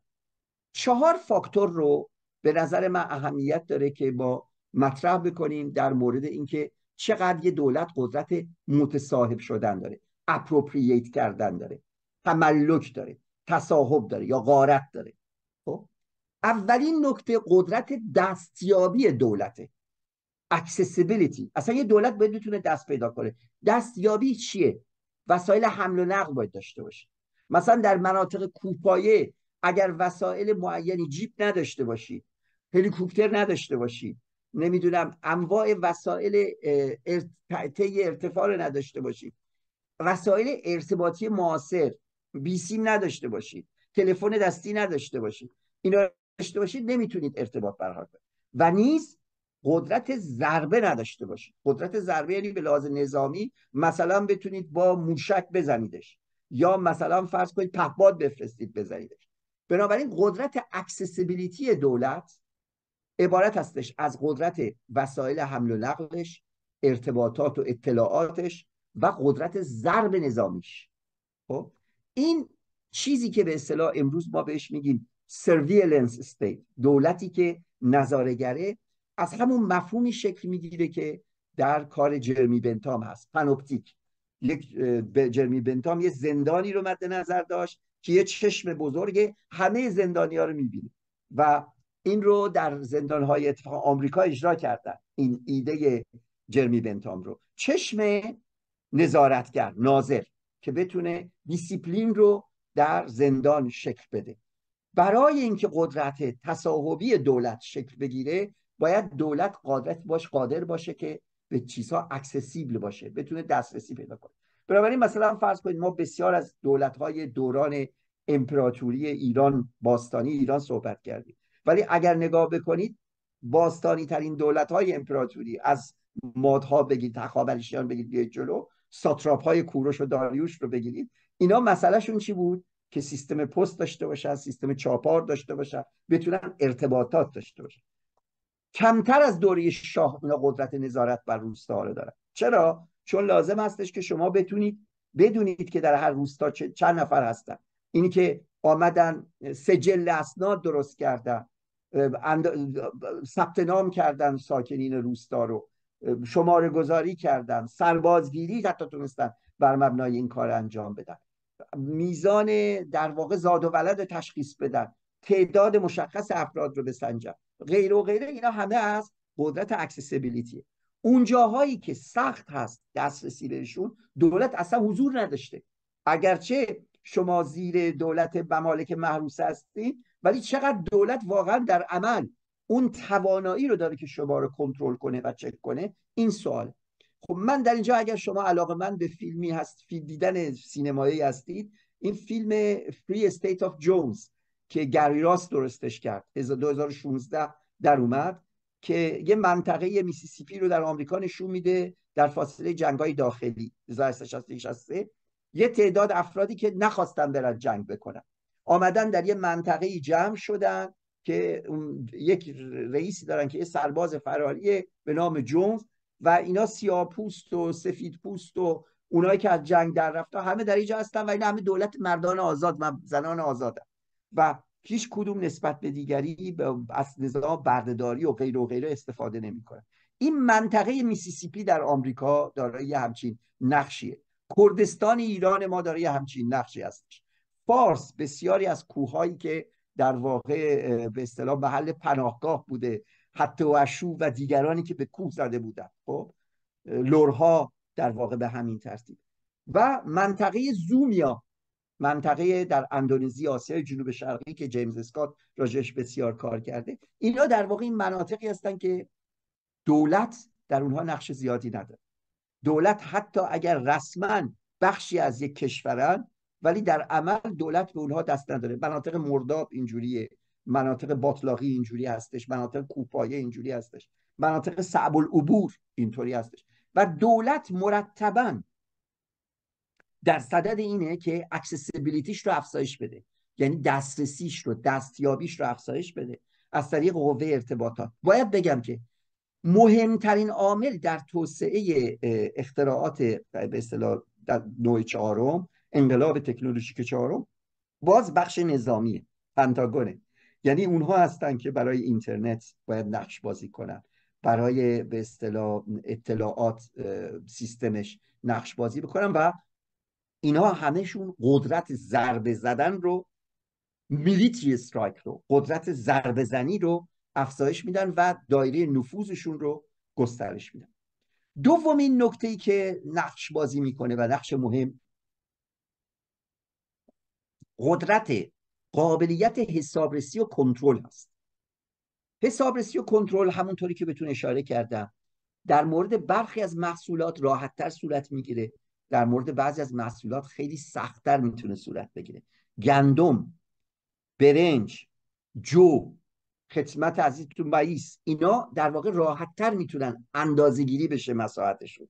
چون در فصل معینی به صورت منظم و به صورت آشکار و قابل حسابرسی بیرون میاد. بنابراین مالیات بر اینها بستن راحت تره در اقتصاد ما مکتبی داریم به نام measurement cost که در واقع در واشنگتن است از مکتب تراکنشی هست. افرادی مثل در واقع استیون چونگ در اونجا خیلی به اصطلاح نقش بازی کردن. یوران بازل بارزل نقش بازی کردن.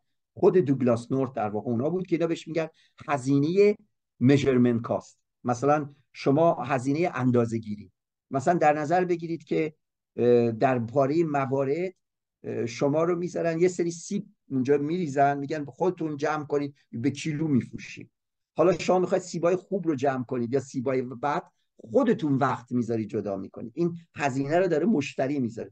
یه جایی دیگه هستش که به شما اجازه رو نمیدن. سیبا رو خودشون در بسته های شیشتایی می‌ذارن حالا که می‌تونه خراب باشه به شما میدن.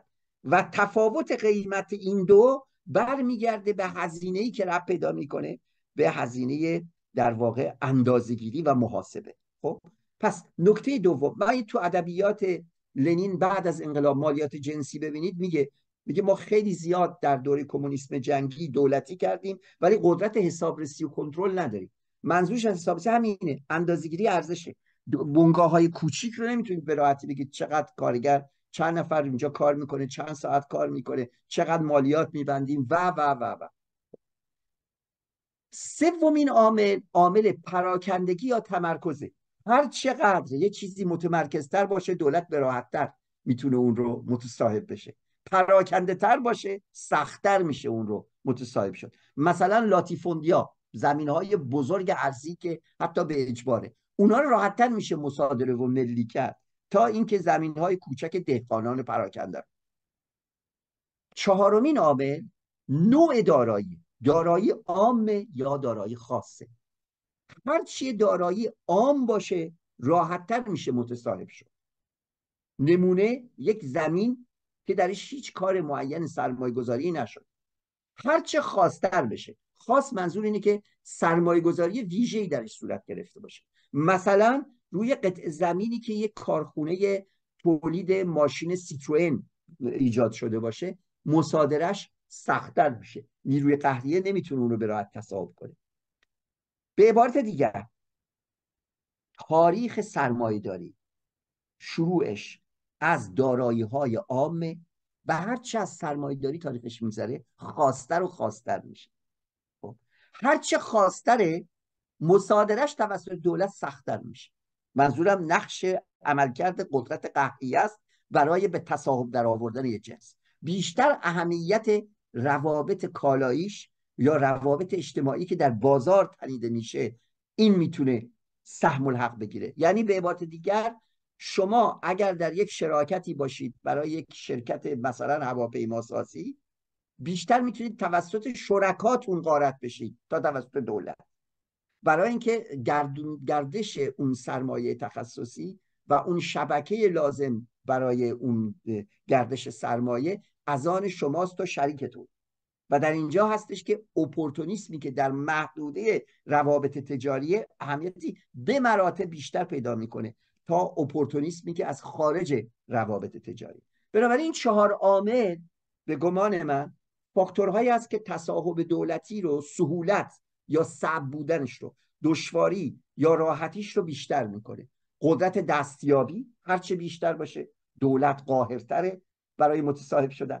به همین دلیل هست که در دورهای اخیر که انقلاب تکنولوژی که چهارم انجام شده اقتصاد دانش بنیاد و اطلاعات حمل و نقل و شبکه به اصطلاح دانش بنیاد اطلاعاتی گسترش پیدا کرده اهمیت در واقع دولت ناظر دولتی که چشمان قوی برای دیدن داره بیشتر و بیشتر شده. این خودش می‌تونه زمینه حتی یک نوع استبداد رو شکل بده و استبداد به مراتب قویتر از استبدادهای باستا دومین فاکتور مسئله قابلیت حسابرسی و کنترل هر چیزی که بتونه راحتتر به حسابرسی و کنترل باشه. از جمله جنگل ها در واقع جنگل های مدر این رو هم باز جیمز اسکات خیلی کار کرده.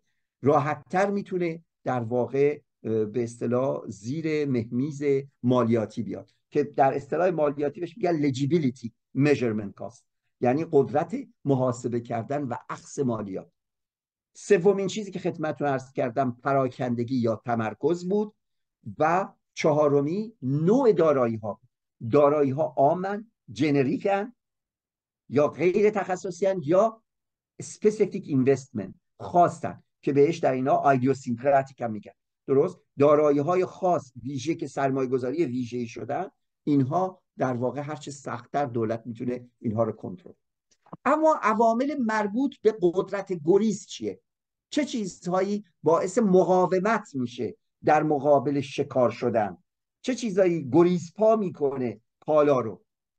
چهار فاکتور رو من در واقع بهشون اشاره دارم در این امر اول از همه تحرک جغرافیایی است. تحرک جغرافیایی نسبت ارزش به وزن. هر چقدر نسبت ارزش به وزن بیشتر باشه تحرک اون چیز بیشتره. مثلا الماس. خب ارزش فوق العاده نسبت به وزنش داره. این معنیش چیه؟ شما در اینجا باید هزینه یا حمل و نقل رو مقایسه کنی با هزینه ارزش جابجا شده. خب طبیعتا هر چقدر میزان ارزش در رابطه نسبیش با وزن بیشتر بشه هزینه حمل و نقل نسبت به میزان ارزش جابجا شده کمتر میشه و بنابراین اون جسم می‌تونه متحرکتر شناخته بشه. دومین نکته تحرک نهادیه. منظورم از این تحرک که گفتم تحرک جغرافیایی بود. اینستیتوشنال مابیلیتی هستش. تحرک نهادی. تحرک نهادی یعنی چی؟ یعنی فرض بفرمایید شما در یک منطقه زندگی می‌کنید و یه اربابی دارید. این ارباب مثلا فرض بگیرید دوکیست از برگندی در فرانسه خب؟ و حالا میاد میگید که آقا من اقتدا می‌کنم به یه دوکی از منطقه بردو نه از برگندی. خب؟ یعنی در جایی که چند مرجعیتی باشه چند مرکز اقتدار باشه شما با جابجا کردن سرسپردگیتون یا اقتداتون به یه قدرت می‌تونید از شر یه قدرت دیگه رها بشید یا فشار اون قدرت دیگه رو بر خودتون کم کنید. این قدرت می‌تونه مثلا عمرای چندگانه باشن مثلا امیرنشینان در آلمان. می‌تونه رقابت بین کلیسا و دولت باشه یا آخوندا و دولت باشن اگر در مناطقی در واقع اونها هر دوتا چیز دارن اقتدار دارن. رابطه بین پادشاه و عمرا باشه. که خب این رو ما در مورد به اصطلاح امپراتوری عثمانی به کرات مشاهده می‌کنیم یا مناطق مرزی با چند کشور همجوار باشن. مثلا فرض بگیرید فرانسه در مناطقی ازش همجوار با سوئیس. خب در تمام منطقه آماس در واقع اوتساوا و نزدیک به منطقه سوئیس. خب در اینجا شما به راحتی می‌تونید برید از یک مرز به مرز دیگه یه سری کالاها رو مثلا سیگار رو از سوئیس بخرید یا در سوئیس کار کنید بیاید به فرانسه مالیات در درآمدتون رو در واقع در فرانسه بدید ولی در سوئیس مشتغل به کار بشید خب. بنابراین در چنین مواردی بسیار سخت میشه به اصطلاح مالیات ستانی. برای اینکه شما قدرت تحرک نهادی دارید. البته من در اینجا از عمرا صحبت کردم از تعدد مراکز اقتدار صحبت کردم. از رابطه کلیسا و دولت صحبت کردم. ولی بیایم در دوره معاصر چی میشه؟ در یک نظام چند حزبی. شما کافی اقتدا بکنید به این حزب یا به جای اون حزب. خب؟ و به این ترتیب به اصطلاح سرسپردگیتون رو عوض کنید. خب؟ بنابراین این هم ممکنه. یکی از ویژگی های تعدد احزاب اینی که افزایش میده تحرک نهادی رو. پلورالیسم سیاسی نظیر پلورالیسم دولتی تحرک نهادی رو افزایش میده. سومین نکته قدرت نامرئی شدنه. اینویزیبل کردنه. نامرئی شدنه. یعنی یکی فراره یکی اینکه ناپدید بشه. مثلا مواد مخدر یک بخش مهمیش که می‌تونه از در واقع محدوده ها و مرزها فرار کنه مثل کوکائین قدرت مخفی کردن کوکائینه. ظرفیت مخفی شدن داره. این یکی از عملیات استتار یک فاکتور دیگه ماجراست. و چهارمی همین مخفی شدن نه فقط به لحاظ اقدامات تکنیکی بلکه به لحاظ تغییر اطلاعات یا از بین بردن اطلاعات. این کاریه که وکلا می‌کنن تقلبات مالیاتی می‌کنن شرکت های بیمه می‌تونن بکنن توانایی داشته باشن که اطلاعات دول دیگری فریم کنن. ارائه کنن به این ترتیب شما از دست دولت راه گریز پیدا بکنید. و تعداد اینها کم نیست بویژه وقتی که صحبت بر سر شرکت های سهامی و خرید سهام یا اوراق قرضه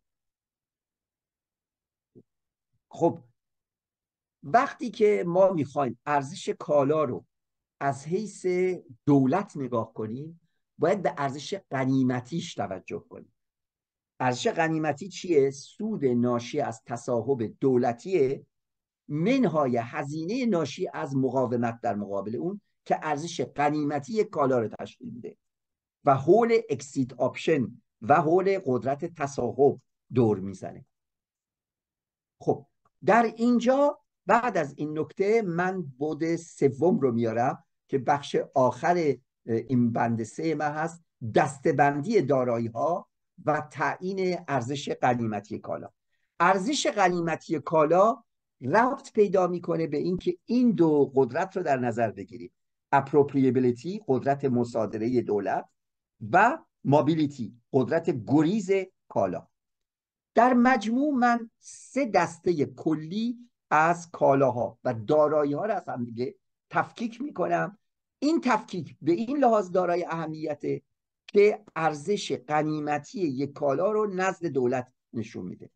نخست دارایی های خالص در بنده در بند یعنی کپتیوه نمی‌تونه فرار کنه. این با دو ویژگی مشخص میشه. یکی اینکه با هزینه اندک میشه متصاحبش شد. یعنی سهولت اپروپریبیلیتی سهولت تصاحبش. و دوم اینه که غیر متحرکه خب؟ کالاهایی که غیر متحرکن ببینید اینجا آمده دارایی های خیلی ممنونم جمال جان برای آوردن جدول شماره یک. دارایی های خالص در بند. هزینه تصاحبشون پایینه. برای چی؟ برای اینکه اینها در واقع از یک سوی غیر متحرکه دوم تصاحبشون با هزینه اندک صورت می‌گیره. چه فاکتوری اینجوری زمین اینه و معادن؟ به خصوص معادن آشکار معادن آشکار مثل معدن نمکه که با نیروی غیر متخصصم قابل بهره برداریه یا معدنی مثل الماس الماس آبرفتی الوویال دایمند بهش میگن که در واقع با علک کردن میشه این الماس رو مستخرج کرد. خب در بی خود نیست که این نوع کالاهایی که در واقع دارایی های خالص در بنده جزوی از قلمرو دولتی شما نگاه بکنید دولت ها همواره با یک قلمرو مشخص میشن که در اون قلمرو زمین ها و دریاها و منابع دیگر طبیعی زمین زیرزمینی در واقع شاملشون میشه خب؟ البته در مورد دولت های معاصر که بود هوا هم جزوش هست اسپیس هم هست قصه داره به طور کامل تحول پیدا می‌کنه که فقط به مساحت زمین و آبها را پیدا نکنه. تصرف زمین و تصرف دریاها اقیانوسها از فاکتورهای وسیع بحث در مورد تاریخ دولت و امپراتوری است که من وارد جزئیاتش نمیشم فقط اینجا یک اشاره می‌کنم. پس نوع دارایی دارایی های خالص دربند با هزینه تصاحب پایین اینها قلمرو دولتی رو تعریف می‌کنن. نوع دوم دارایی ها دارایی های خالص گریزپاست fugitive assets هست یا fugitive در واقع commodity است. فیوجتیو به معنای فراره به معنای مابیلیتی این مابیلیتی فراتر از فقط مابیلیتی به معناست که حالا یا دارایی متحرک باشه بلکه تصاحب پذیریش هم باید دشوار باشه. یه نمونه میدم نیروهای متخصص. همین چند همین چند دقیقه پیش خدمتون عرض کردم. مثلا چه می‌دونم اونایی که دانش هسته‌ای دارن اونایی که پزشکن جراح هستن یا دانش اطلاعاتی دارن. اینها در واقع دانشی هستش که قابل استفاده است در نقاط مختلف و اینها در واقع قدرت فرار دارن. آیا اینا به یک قلم روی دولتی تعلق دارن؟ جواب نه. شما در این جدول شماره که نگاه کنید قسمت سوم منظورمه. دارایی های خالص گریسپا هزینه تصاحبشون بالاست و اینها متحرک هم هستن ولی قلمروی دولتی جزوش محسوب نمیشن. به غیر از این دو دسته. یه دسته سوم داریم که قلمروی بینابینی بین دولتی و غیر دولتی هست. که من از اونها با دارایی های مختلط یاد می‌کنم. دارایی های مختلط یا میکس دو جورن. دارایی های مختلط دربند و دارایی های مختلط گریسپا خب اول از دارایی های مختلط دربند یاد کنیم. دارایی های مختلط دربند دارایی هستند که اولا غیر متحرکن. مثلا فرض کنید معدن نفت. مثلا فرض کنید یک کارخونه ماشینسازی سیتروین در کاخ در خاک در واقع ساحل آج. و اینا اما سخت می‌تونن مصادره بشن. در مورد نفت شما اگر بخواید نفت رو به شیوه آرتیزان و غیر تخصصی استخراج کنید همون کاری که آیسس کرد داعش کرد. بسیار نفت هدر میره کلی هم ضایعات داره. هم برای محیط طبیعی هم برای کسایی که استخراجش می‌کنن. از نیروی کار کودکان استفاده کردن. عده زیادی رو از بین می‌برد لازم دارید که استخراج مکانیکی و صنعتی انجام بدید. و این یه دانش تخصصی ویژه ای رو در واقع میطلبه. و این کار رو خب مثلا یه بخشی از کمپانی های ایتالیایی آمدن به داعش یا کمک کرد فقط هم ایتالیایی نبودن. اینایی که همه دارن علیه دانش در واقع سر و صدا می‌کنن خودشون در این حال شرکای داعش بودن برای استخراج نفت.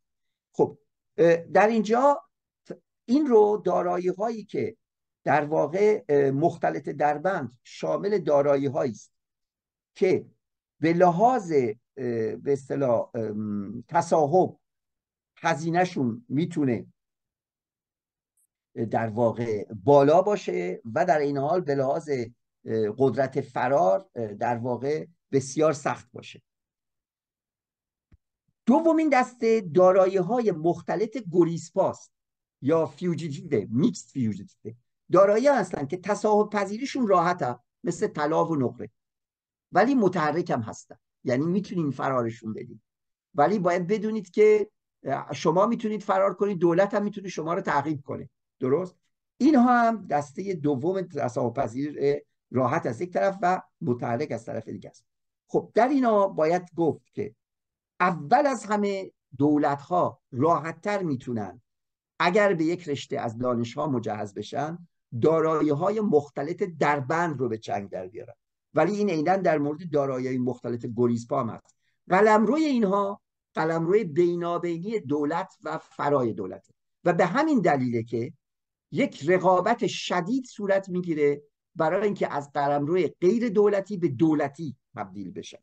به همین دلیل من هزینه تصاحب متوسط قلمروی دولتی نوارا خب از اینجا ما می‌تونیم در واقع نوع دارایی ها رو دسته بندی کنیم و این جدول انواع دارایی ها و قلمروی دولتی. این جدول چیه؟ این جدول ارزشیابی کالاهاست نه بر مبنای ارزششون در بازار بلکه از حیث ارزششون نزد دولت یا ارزش قنیمتی کالاهاست. در اینجا شما مشاهده می‌کنید من به چهار دسته تقسیم کردم. ولی باید در نظر بگیرید که دسته و دو سه هر رو میشه در یک کاتگوری آورد. در دارایی های مختلف نام بود اولی دارایی های خالص در بنده که در واقع تحرک داره نه تصاحب پذیری ساده است آری. قلمرو دولتی یا غیر دولتی؟ قلمرو دولتی. من نمونه آوردم. مالکت زمین املاک و مستقلات مواد اولیه تولید. چهارمی دارایی های خالص گریزپاس. شما نگاه بکنید قلمرو تحرک داره بله. آیا تصاحب پذیر نه؟ جزو قلمرو دولتی خیلی جزو قلمرو در واقع غیر دولتی.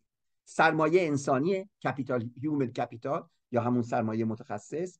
محصولات قحطی مانند سیب زمینی. البته اینجا باید بگم من وقتی از دارایی های خالص گریزپا نام بردم از نیروی متخصص یاد کردم. ولی باید در نظر داشته باشید فقط اخشار صاحب امتیاز و صاحب دانش نیستن که می‌تونند جزو کالاهای گریسپا محسوب بشن. اخشار بیچیز هم می‌تونن بشن. مثلا یه نمونه که من میارم کل محصولات کشاورزی که جنبه ریشه‌ای دارن و زیرزمینی دارن. مثل شلغم مثل سیب زمینی. شما اگر در نظر بگیرید یکی از عوامل مهم پیروزی در واقع مناطق مقاومت مناطق کوهپایه نسبت به مناطق شهری و به اصطلاح صاحب تمدن کوهنشین و به اصطلاح میگن وحشی ولی به اصطلاح شهرنشین میشه صاحب تمدن. این تقسیم بندی هایی که همه از دیدگاه اینکه چقدر دولت حاضره در واقع انجام شده. علت مقاومت مناطق کوهپایه اتفاقا داشتن مواد غذایی ریشه‌ای بوده. مواد غذایی مثل شلغم مثل سیب زمینی و غیره. و اینا به سختی می‌تونن کنترل ارزیابی بشن و ارزشیابی بشن. و اینا قادر به فرار بودن از قلمرو تصاحب دولتی. باید بگم که از همین امر ارتش ها استفاده کردن. یکی از موفقیت های ارتش آلمان همین سیب زمینی خوردن بود.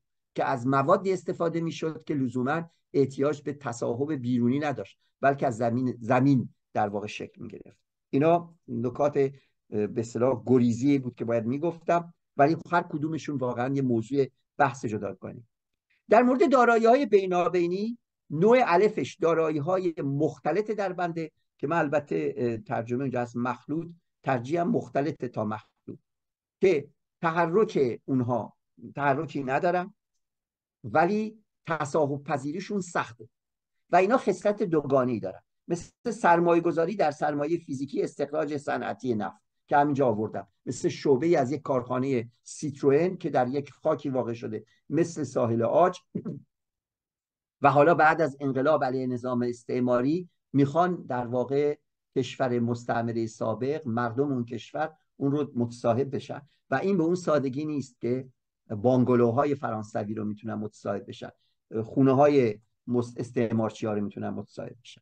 و بنابراین نقش دوگانه ای دارن. بین قلمرو دولتی و قلمرو غیر دولتی و نهایتا دارایی های بینابینی یا دارایی های مختلط گریزپاست که در اینجا قدرت تحرک دارن ولی تصاحب پذیریشون هم ساده است. و اینا هم نقش دوگانه دارن. فلزات گرانبها طلا و نقره جزینن.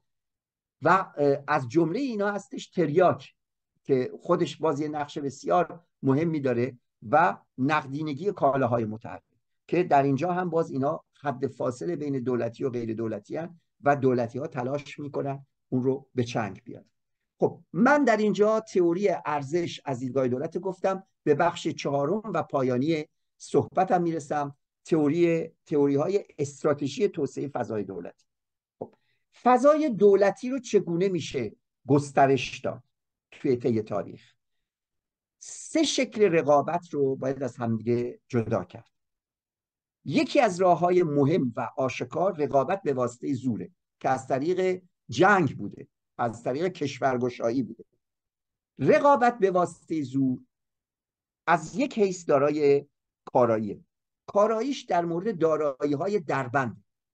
مثلا می‌خواید میزان خاکتون افزایش بدید معادنتون افزایش بدید تریتوریتون رو افزایش بدید قلم روتون افزایش بدید.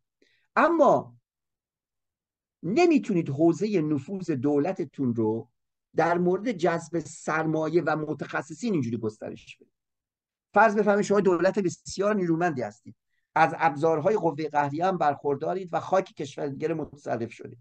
تمام دانشمندان اون کشور بذارن و برن. یا مثلا سرمایه های اون کشور از کشور فرار کنن.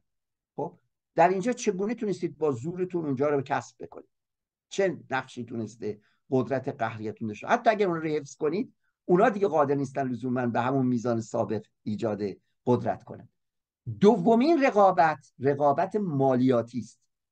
و یا به عبارت دیگر هزینه محافظت نظامی رو از سرمایه مالکیت رو بیارید پایین. این رو ما در اقتصاد به عنوان مدل تایباوت میگیم.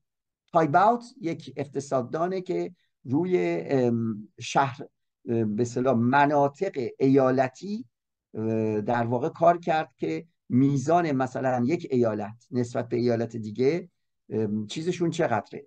مالیاتشون چقدره؟ رقابت بین دو تا ایالت یا ایالت ها مثلا در چین یا در آلمان یا در هر کشور یا آمریکا.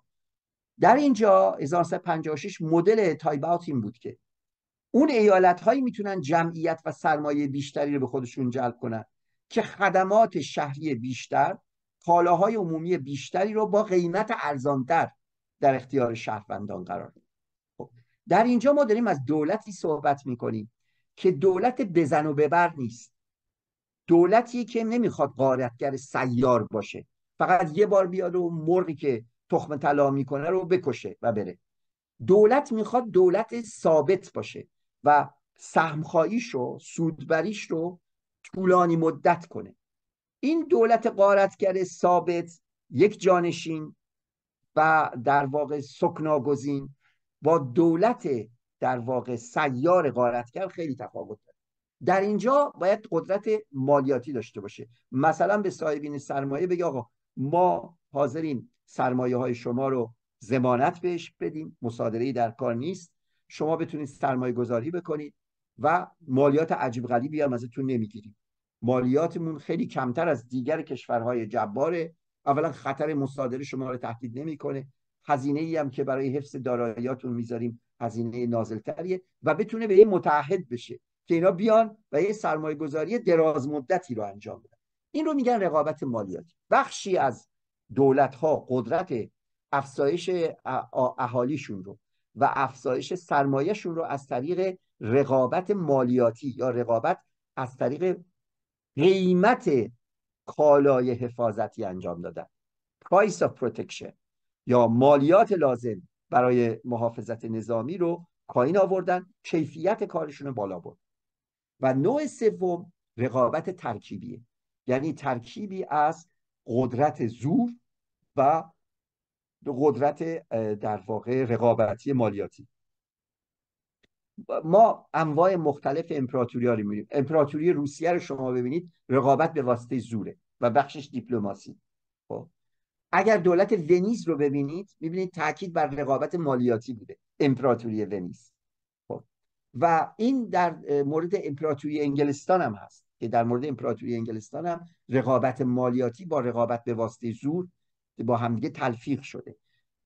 در واقع تاریخ امپراتوری های معاصر گذاره از امپراتوری های به واسطه زور به سمت امپراتوری هایی که به رقابت ترکیبی دست و این سبب میشه که ما بین دولت های قارتگر یه تفکیکی ایجاد کنیم. خب من اینجا می‌خوام تاکید بکنم در سر چی؟ خب ما در علوم سیاسی بین جمهوری مونارشی جمهوری دموکراتیک و غیره و غیره تفکیک می‌کنیم در حوزه اقتصاد نه لزوما اینا فاکتورهای اصلی نیست.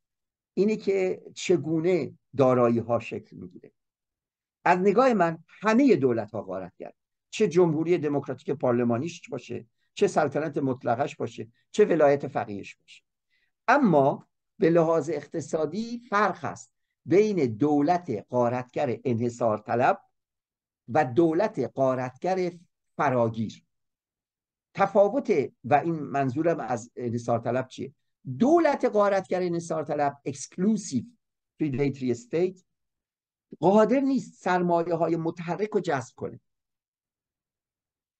اینجا exclusivity و inclusivity یعنی دور کردن و ادغام کردن ناظر بر به اصطلاح سطح کاهش دادن به اصطلاح نابرابری اجتماعی نیست. بازم تاکید می‌کنم. تاکید بر میزان mobility ه بتونه کالاهای قابل تحرک رو جذب کنه. اینه. در دولت های غارتگر نثار طلب نوع در واقع رقابت اساسا به واسطه زوره و رقابت مالیاتی اهمیت به مراتب ضعیفتر یا حتی صفری به خودش میده. عکس اون در دولت قارتگر فراگیره. که در دولت های قارتگر فراگیر که اینکلوسیو هستن سعی میشه صاحبین درآمدی که قادرت تحرک دارن رو جذب بکنه. بنابراین رقابت نه فقط به حسب زور بلکه به حسب در واقع مالیات کاهش مالیات افزایش خدمات در واقع صورت می‌گیره. برای من این تفکیک که به عمل میاد بین دولت های developmentalist یا clientelist یا predatory دولت های توسعه و دولت های غارتگر تفاوت بیخودی. هم دولت های توسعه هم دولت های غارتگر هر دو غارتگر تفاوت بر سر اینه که غارتشون از چه نوعیه؟ غارت از نوع به اصطلاح فراگیر گروه های معین اجتماعی و سرمایه های قابل تعرف که در خودش جذب می‌کنه یا انحصاریه و گروه های زیادی رو از خودش دور می‌کنه. و این در واقع یک تفاوت اصلی هستش که من بین این دو نوع دست دولت ها ایجاد می‌کنم که در فهم بیشتر سرمایداری نقش بازی می‌کنه خب در اینجا من می‌رسم به بخش نتیجه گیری که در واقع کاربست این نظریه‌م رو می‌خوام نشون بدم در بخش نتیجه گیری برای نشون دادن کاربست این نظریه‌ای که آوردم می‌خوام مفهوم جهانی شدن رو بررسی کنم. globalization و deglobalization جهانی شدن و غیر جهانی شدن. نگاه می‌خوام بکنم اول این پروسه جهانی شدن رو از نگاه سرمایه و دوم از نگاه دولت. پروسه جهانی شدن از نگاه سرمایه چیه؟ از نگاه سرمایه افزایش قدرت خروجه. یعنی exit option ش باید افزایش پیدا کنه. چجوری exit option در globalization افزایش پیدا می‌کنه؟ در جهانی شدن افزایش می‌کنه. چهار روش داره. یک تعدد مراجع قدرت یا تعدد دول و به این ترتیب کاهش مالیاتی. شما اگه نگاه کنید روند تعداد دولای پس از جنگ جهانی دوم که تقریبا مثلا فرض بفرمایید 196 کشور بودن اکنون به نزدیک به 200 کشور رسیدن. دقیقتر 196 کشور. دولت ها کوچکتر شدن تجزیه شدن. ولی در واقع همه این دولت ها از طریق بازار به همدیگه متصل شدن. ما یه بحث مفصلی می‌تونیم داشته باشیم راجع به اندازه دولت ها میزان کارایی دولت ها میزان جمعیت دولت ها که این تعدد مراجع قدرت چرا؟ یکی از فاکتورهایی است که سرمایه دوست داره دولت های مختلف وجود داشته باشه. حتی خیلی علاقه منده که این دولت ها خورد بشن. خب؟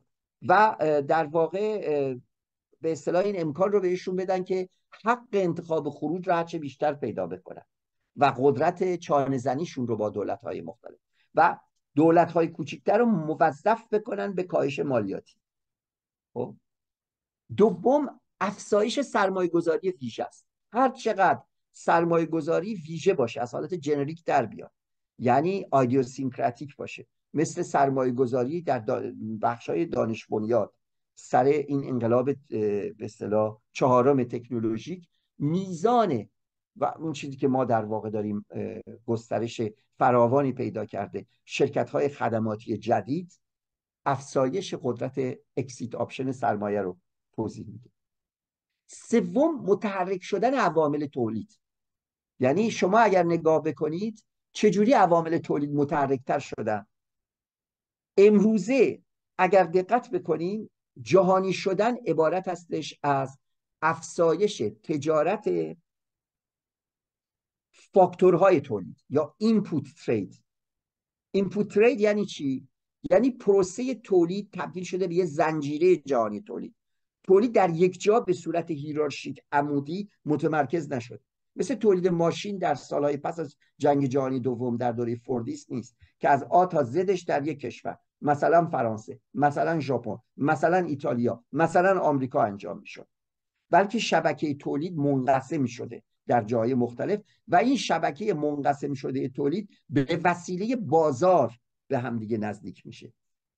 از 1970 به ویژه از پایانه دهه 70 شما اگر میزان input trade تجارت در واقع فاکتورها رو. با output trade تجارت کالاها مقایسه کنید می‌بینید input trade افزایش پیدا کرده. چرا؟ به خاطر اینکه روند عمودی تولید در سطح ملی تجزیه شده. disintegrate شده در حوزه تولید. تجزیه شده پروسه تولید. در سطح ملی انجام نمیشه پروسه تولید. در حالی که پروسه تولید در سطح بین المللی ادغام میشه. به مدد بازار و تکنولوژی عصر چهارم. خب این جهانی سازی. در این صورت شما از گلوبال چین ولیو صحبت می‌کنید و جهانی شدن به این معنا یعنی متحرک شدن عوامل تولید. خب و نهایتا کاهش دایره کالاهایی است که موسومن به نان تریدبل گودز نان تریدبل گودز چیه؟ سلمونی که دارید. خب یه سلمونی کالایی که شما سلمونی شهر شما منطقه شما این از یه جای به جای دیگه سخت می‌تونه این ور بره. همینطور خدمات زیرساختی که در یه منطقه تأسیس میشه. این رو شما نمی‌تونید به اینا کالاهایی نیستن که جابجا جا بشن مابیلیتی داشته باشن و بازار داخلی احتیاج داره حالا هر چقدر دایره کالاهای non-tradable کوچیک بشه مثلا تعداد سلمونی ها بشه از یه جایی به یه جای دیگه منتقل بشه. زیر ساخته از یه جایی به جای دیگه منتقل بشه. در اون صورت قدرت سرمایه افزایش پیدا کرد. آیا این امکان پذیر بله. اگر در واقع artificial intelligence هوش مصنوعی امکان روباتیک رو ایجاد بکنه که بخشی از کارهایی مثل سلمانی و امکان پذیر بشه یا خونه سازی از طریق قطعات پیش ساخته که در یک منطقه نصب میشن و از هم دیگه باز میشن افزایش پیدا کنه کالاهایی که موسوم به نان تریدبلن افزایش پیدا می‌کنه و بنابراین دایره سرمایه گسترش بیشتری پیدا خب حالا اون طرف قصه نگاه کنیم. کاهش exit option برای دولت فاکتور اصلیه. یعنی دولت خواهان این هست که قدرت exit قدرت خروج سرمایه کاهش پیدا دولت هایی که فراگیرن فعال مایشاء هستن. مثل دولت در نظام اقتصادی نوع شوروی اصلا اقتصاد no exit ی کالابی می‌خواستن. اقتصاد بدون خروج. چهار فاکتور می‌تونه عمل بکنه. یک دولت قدرت دستیابیش بیشتر بشه. accessibility ش اتفاقا بر مبنای همون چیزی که در اینجا گفتم. به خاطر تسلطش بر اینترنت بر داده های اطلاعاتی تکنولوژیک قدرت surveillance پیدا کنه. بتونه سر همه رو ببینه. یه چشم بزرگ مثل زندان داشته باشه هر جا ببینه. در اینجا قدرت دستگاه دولت افزایش می‌کنه. دوم هماهنگی بین المللی بتونه بکنه. یا قلمروی قانونگذاریش رو افزایش بده. خب این معنیش چیه؟ یک طرف هماهنگی بین المللی مثلا فرض بگیرید که شما بتونید در بازار جهانی نقش ایفا بکنید. یعنی یه چیزی نقش ایفا کنید به وسیله نهادهایی مثل صندوق بینالمللی پول مثل بانک جهانی. غیر از اون چیه؟ قلم روی قانونگذاری دولتی رو افزایش این یعنی چی؟ یعنی این مثل اولین لزوما نیست هماهنگی بین المللی کنید. دایره دولت خودتون قاره بشه. در دوره معاصر شما نگاه کنید. ایالات متحده آمریکا برزیل هندوستان روسیه و چین و ایالات متحده اروپا این نقش بازی می‌کنه. در عین حالی که شما می‌بینید برای سرمایه هرچه دولت ها شکسته تر میشن زینفترن در این حال می‌بینید که دولت هایی که دارن در سطح بین المللی اثرگذار هستند دولت های قاره هستند این کاملا صحیحه که امروز هماهنگی بین المللی دچار اختلال کامل یا فروپاشی شده و این نشون داده که هیچ قطب جهانی نیست. ولی دایره قلمرو قانونگذاری دولتی برای هر کدوم از این دولت ها افزایش پیدا کرد. سوم تمام کالاهایی که عرض کردم خدمتتون non-tradable ن اینا در واقع به دایره حرکت دولتی یاری میرسونن.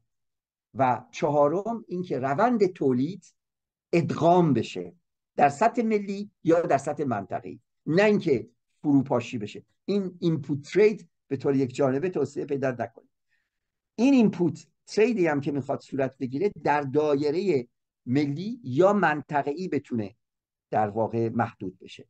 این دوتا لوژیک این دوتا منطق در واقع حضور دارن. عجیب نیست بنابراین اگر در واقع از یک سوی سرمایه با وجود تعدد دولت ها راحتتر می‌تونه کارش انجام بده و از سوی دیگه دولت ها با افزایش میزان دستیابیشون می‌تونند قدرت دیگلوبالیزیشنشون رو افزایش بدن و دنبال یک جور سرمایداری ناظر و نظارتگر و تجسسی باشن انجام بدن خب من در واقع سعی کردم چکیده ای از حرف خودم رو در واقع بزنم. فکر می‌کنم خیلی هم در واقع مفصل شد. یعنی دو ساعتی فکر کنم صحبت کردم. متاسفم از اینکه اینقدر طولانی شد. ولی در یک جلسه در واقع این هست و می‌دونم در این صحبت مطالب زیادی هست که هر کدوم اینا موضوع مقالات موضوع بحث های مفصلی بوده و می‌تونه باشه و از صبر و حوصله شما تشکر می‌کنم.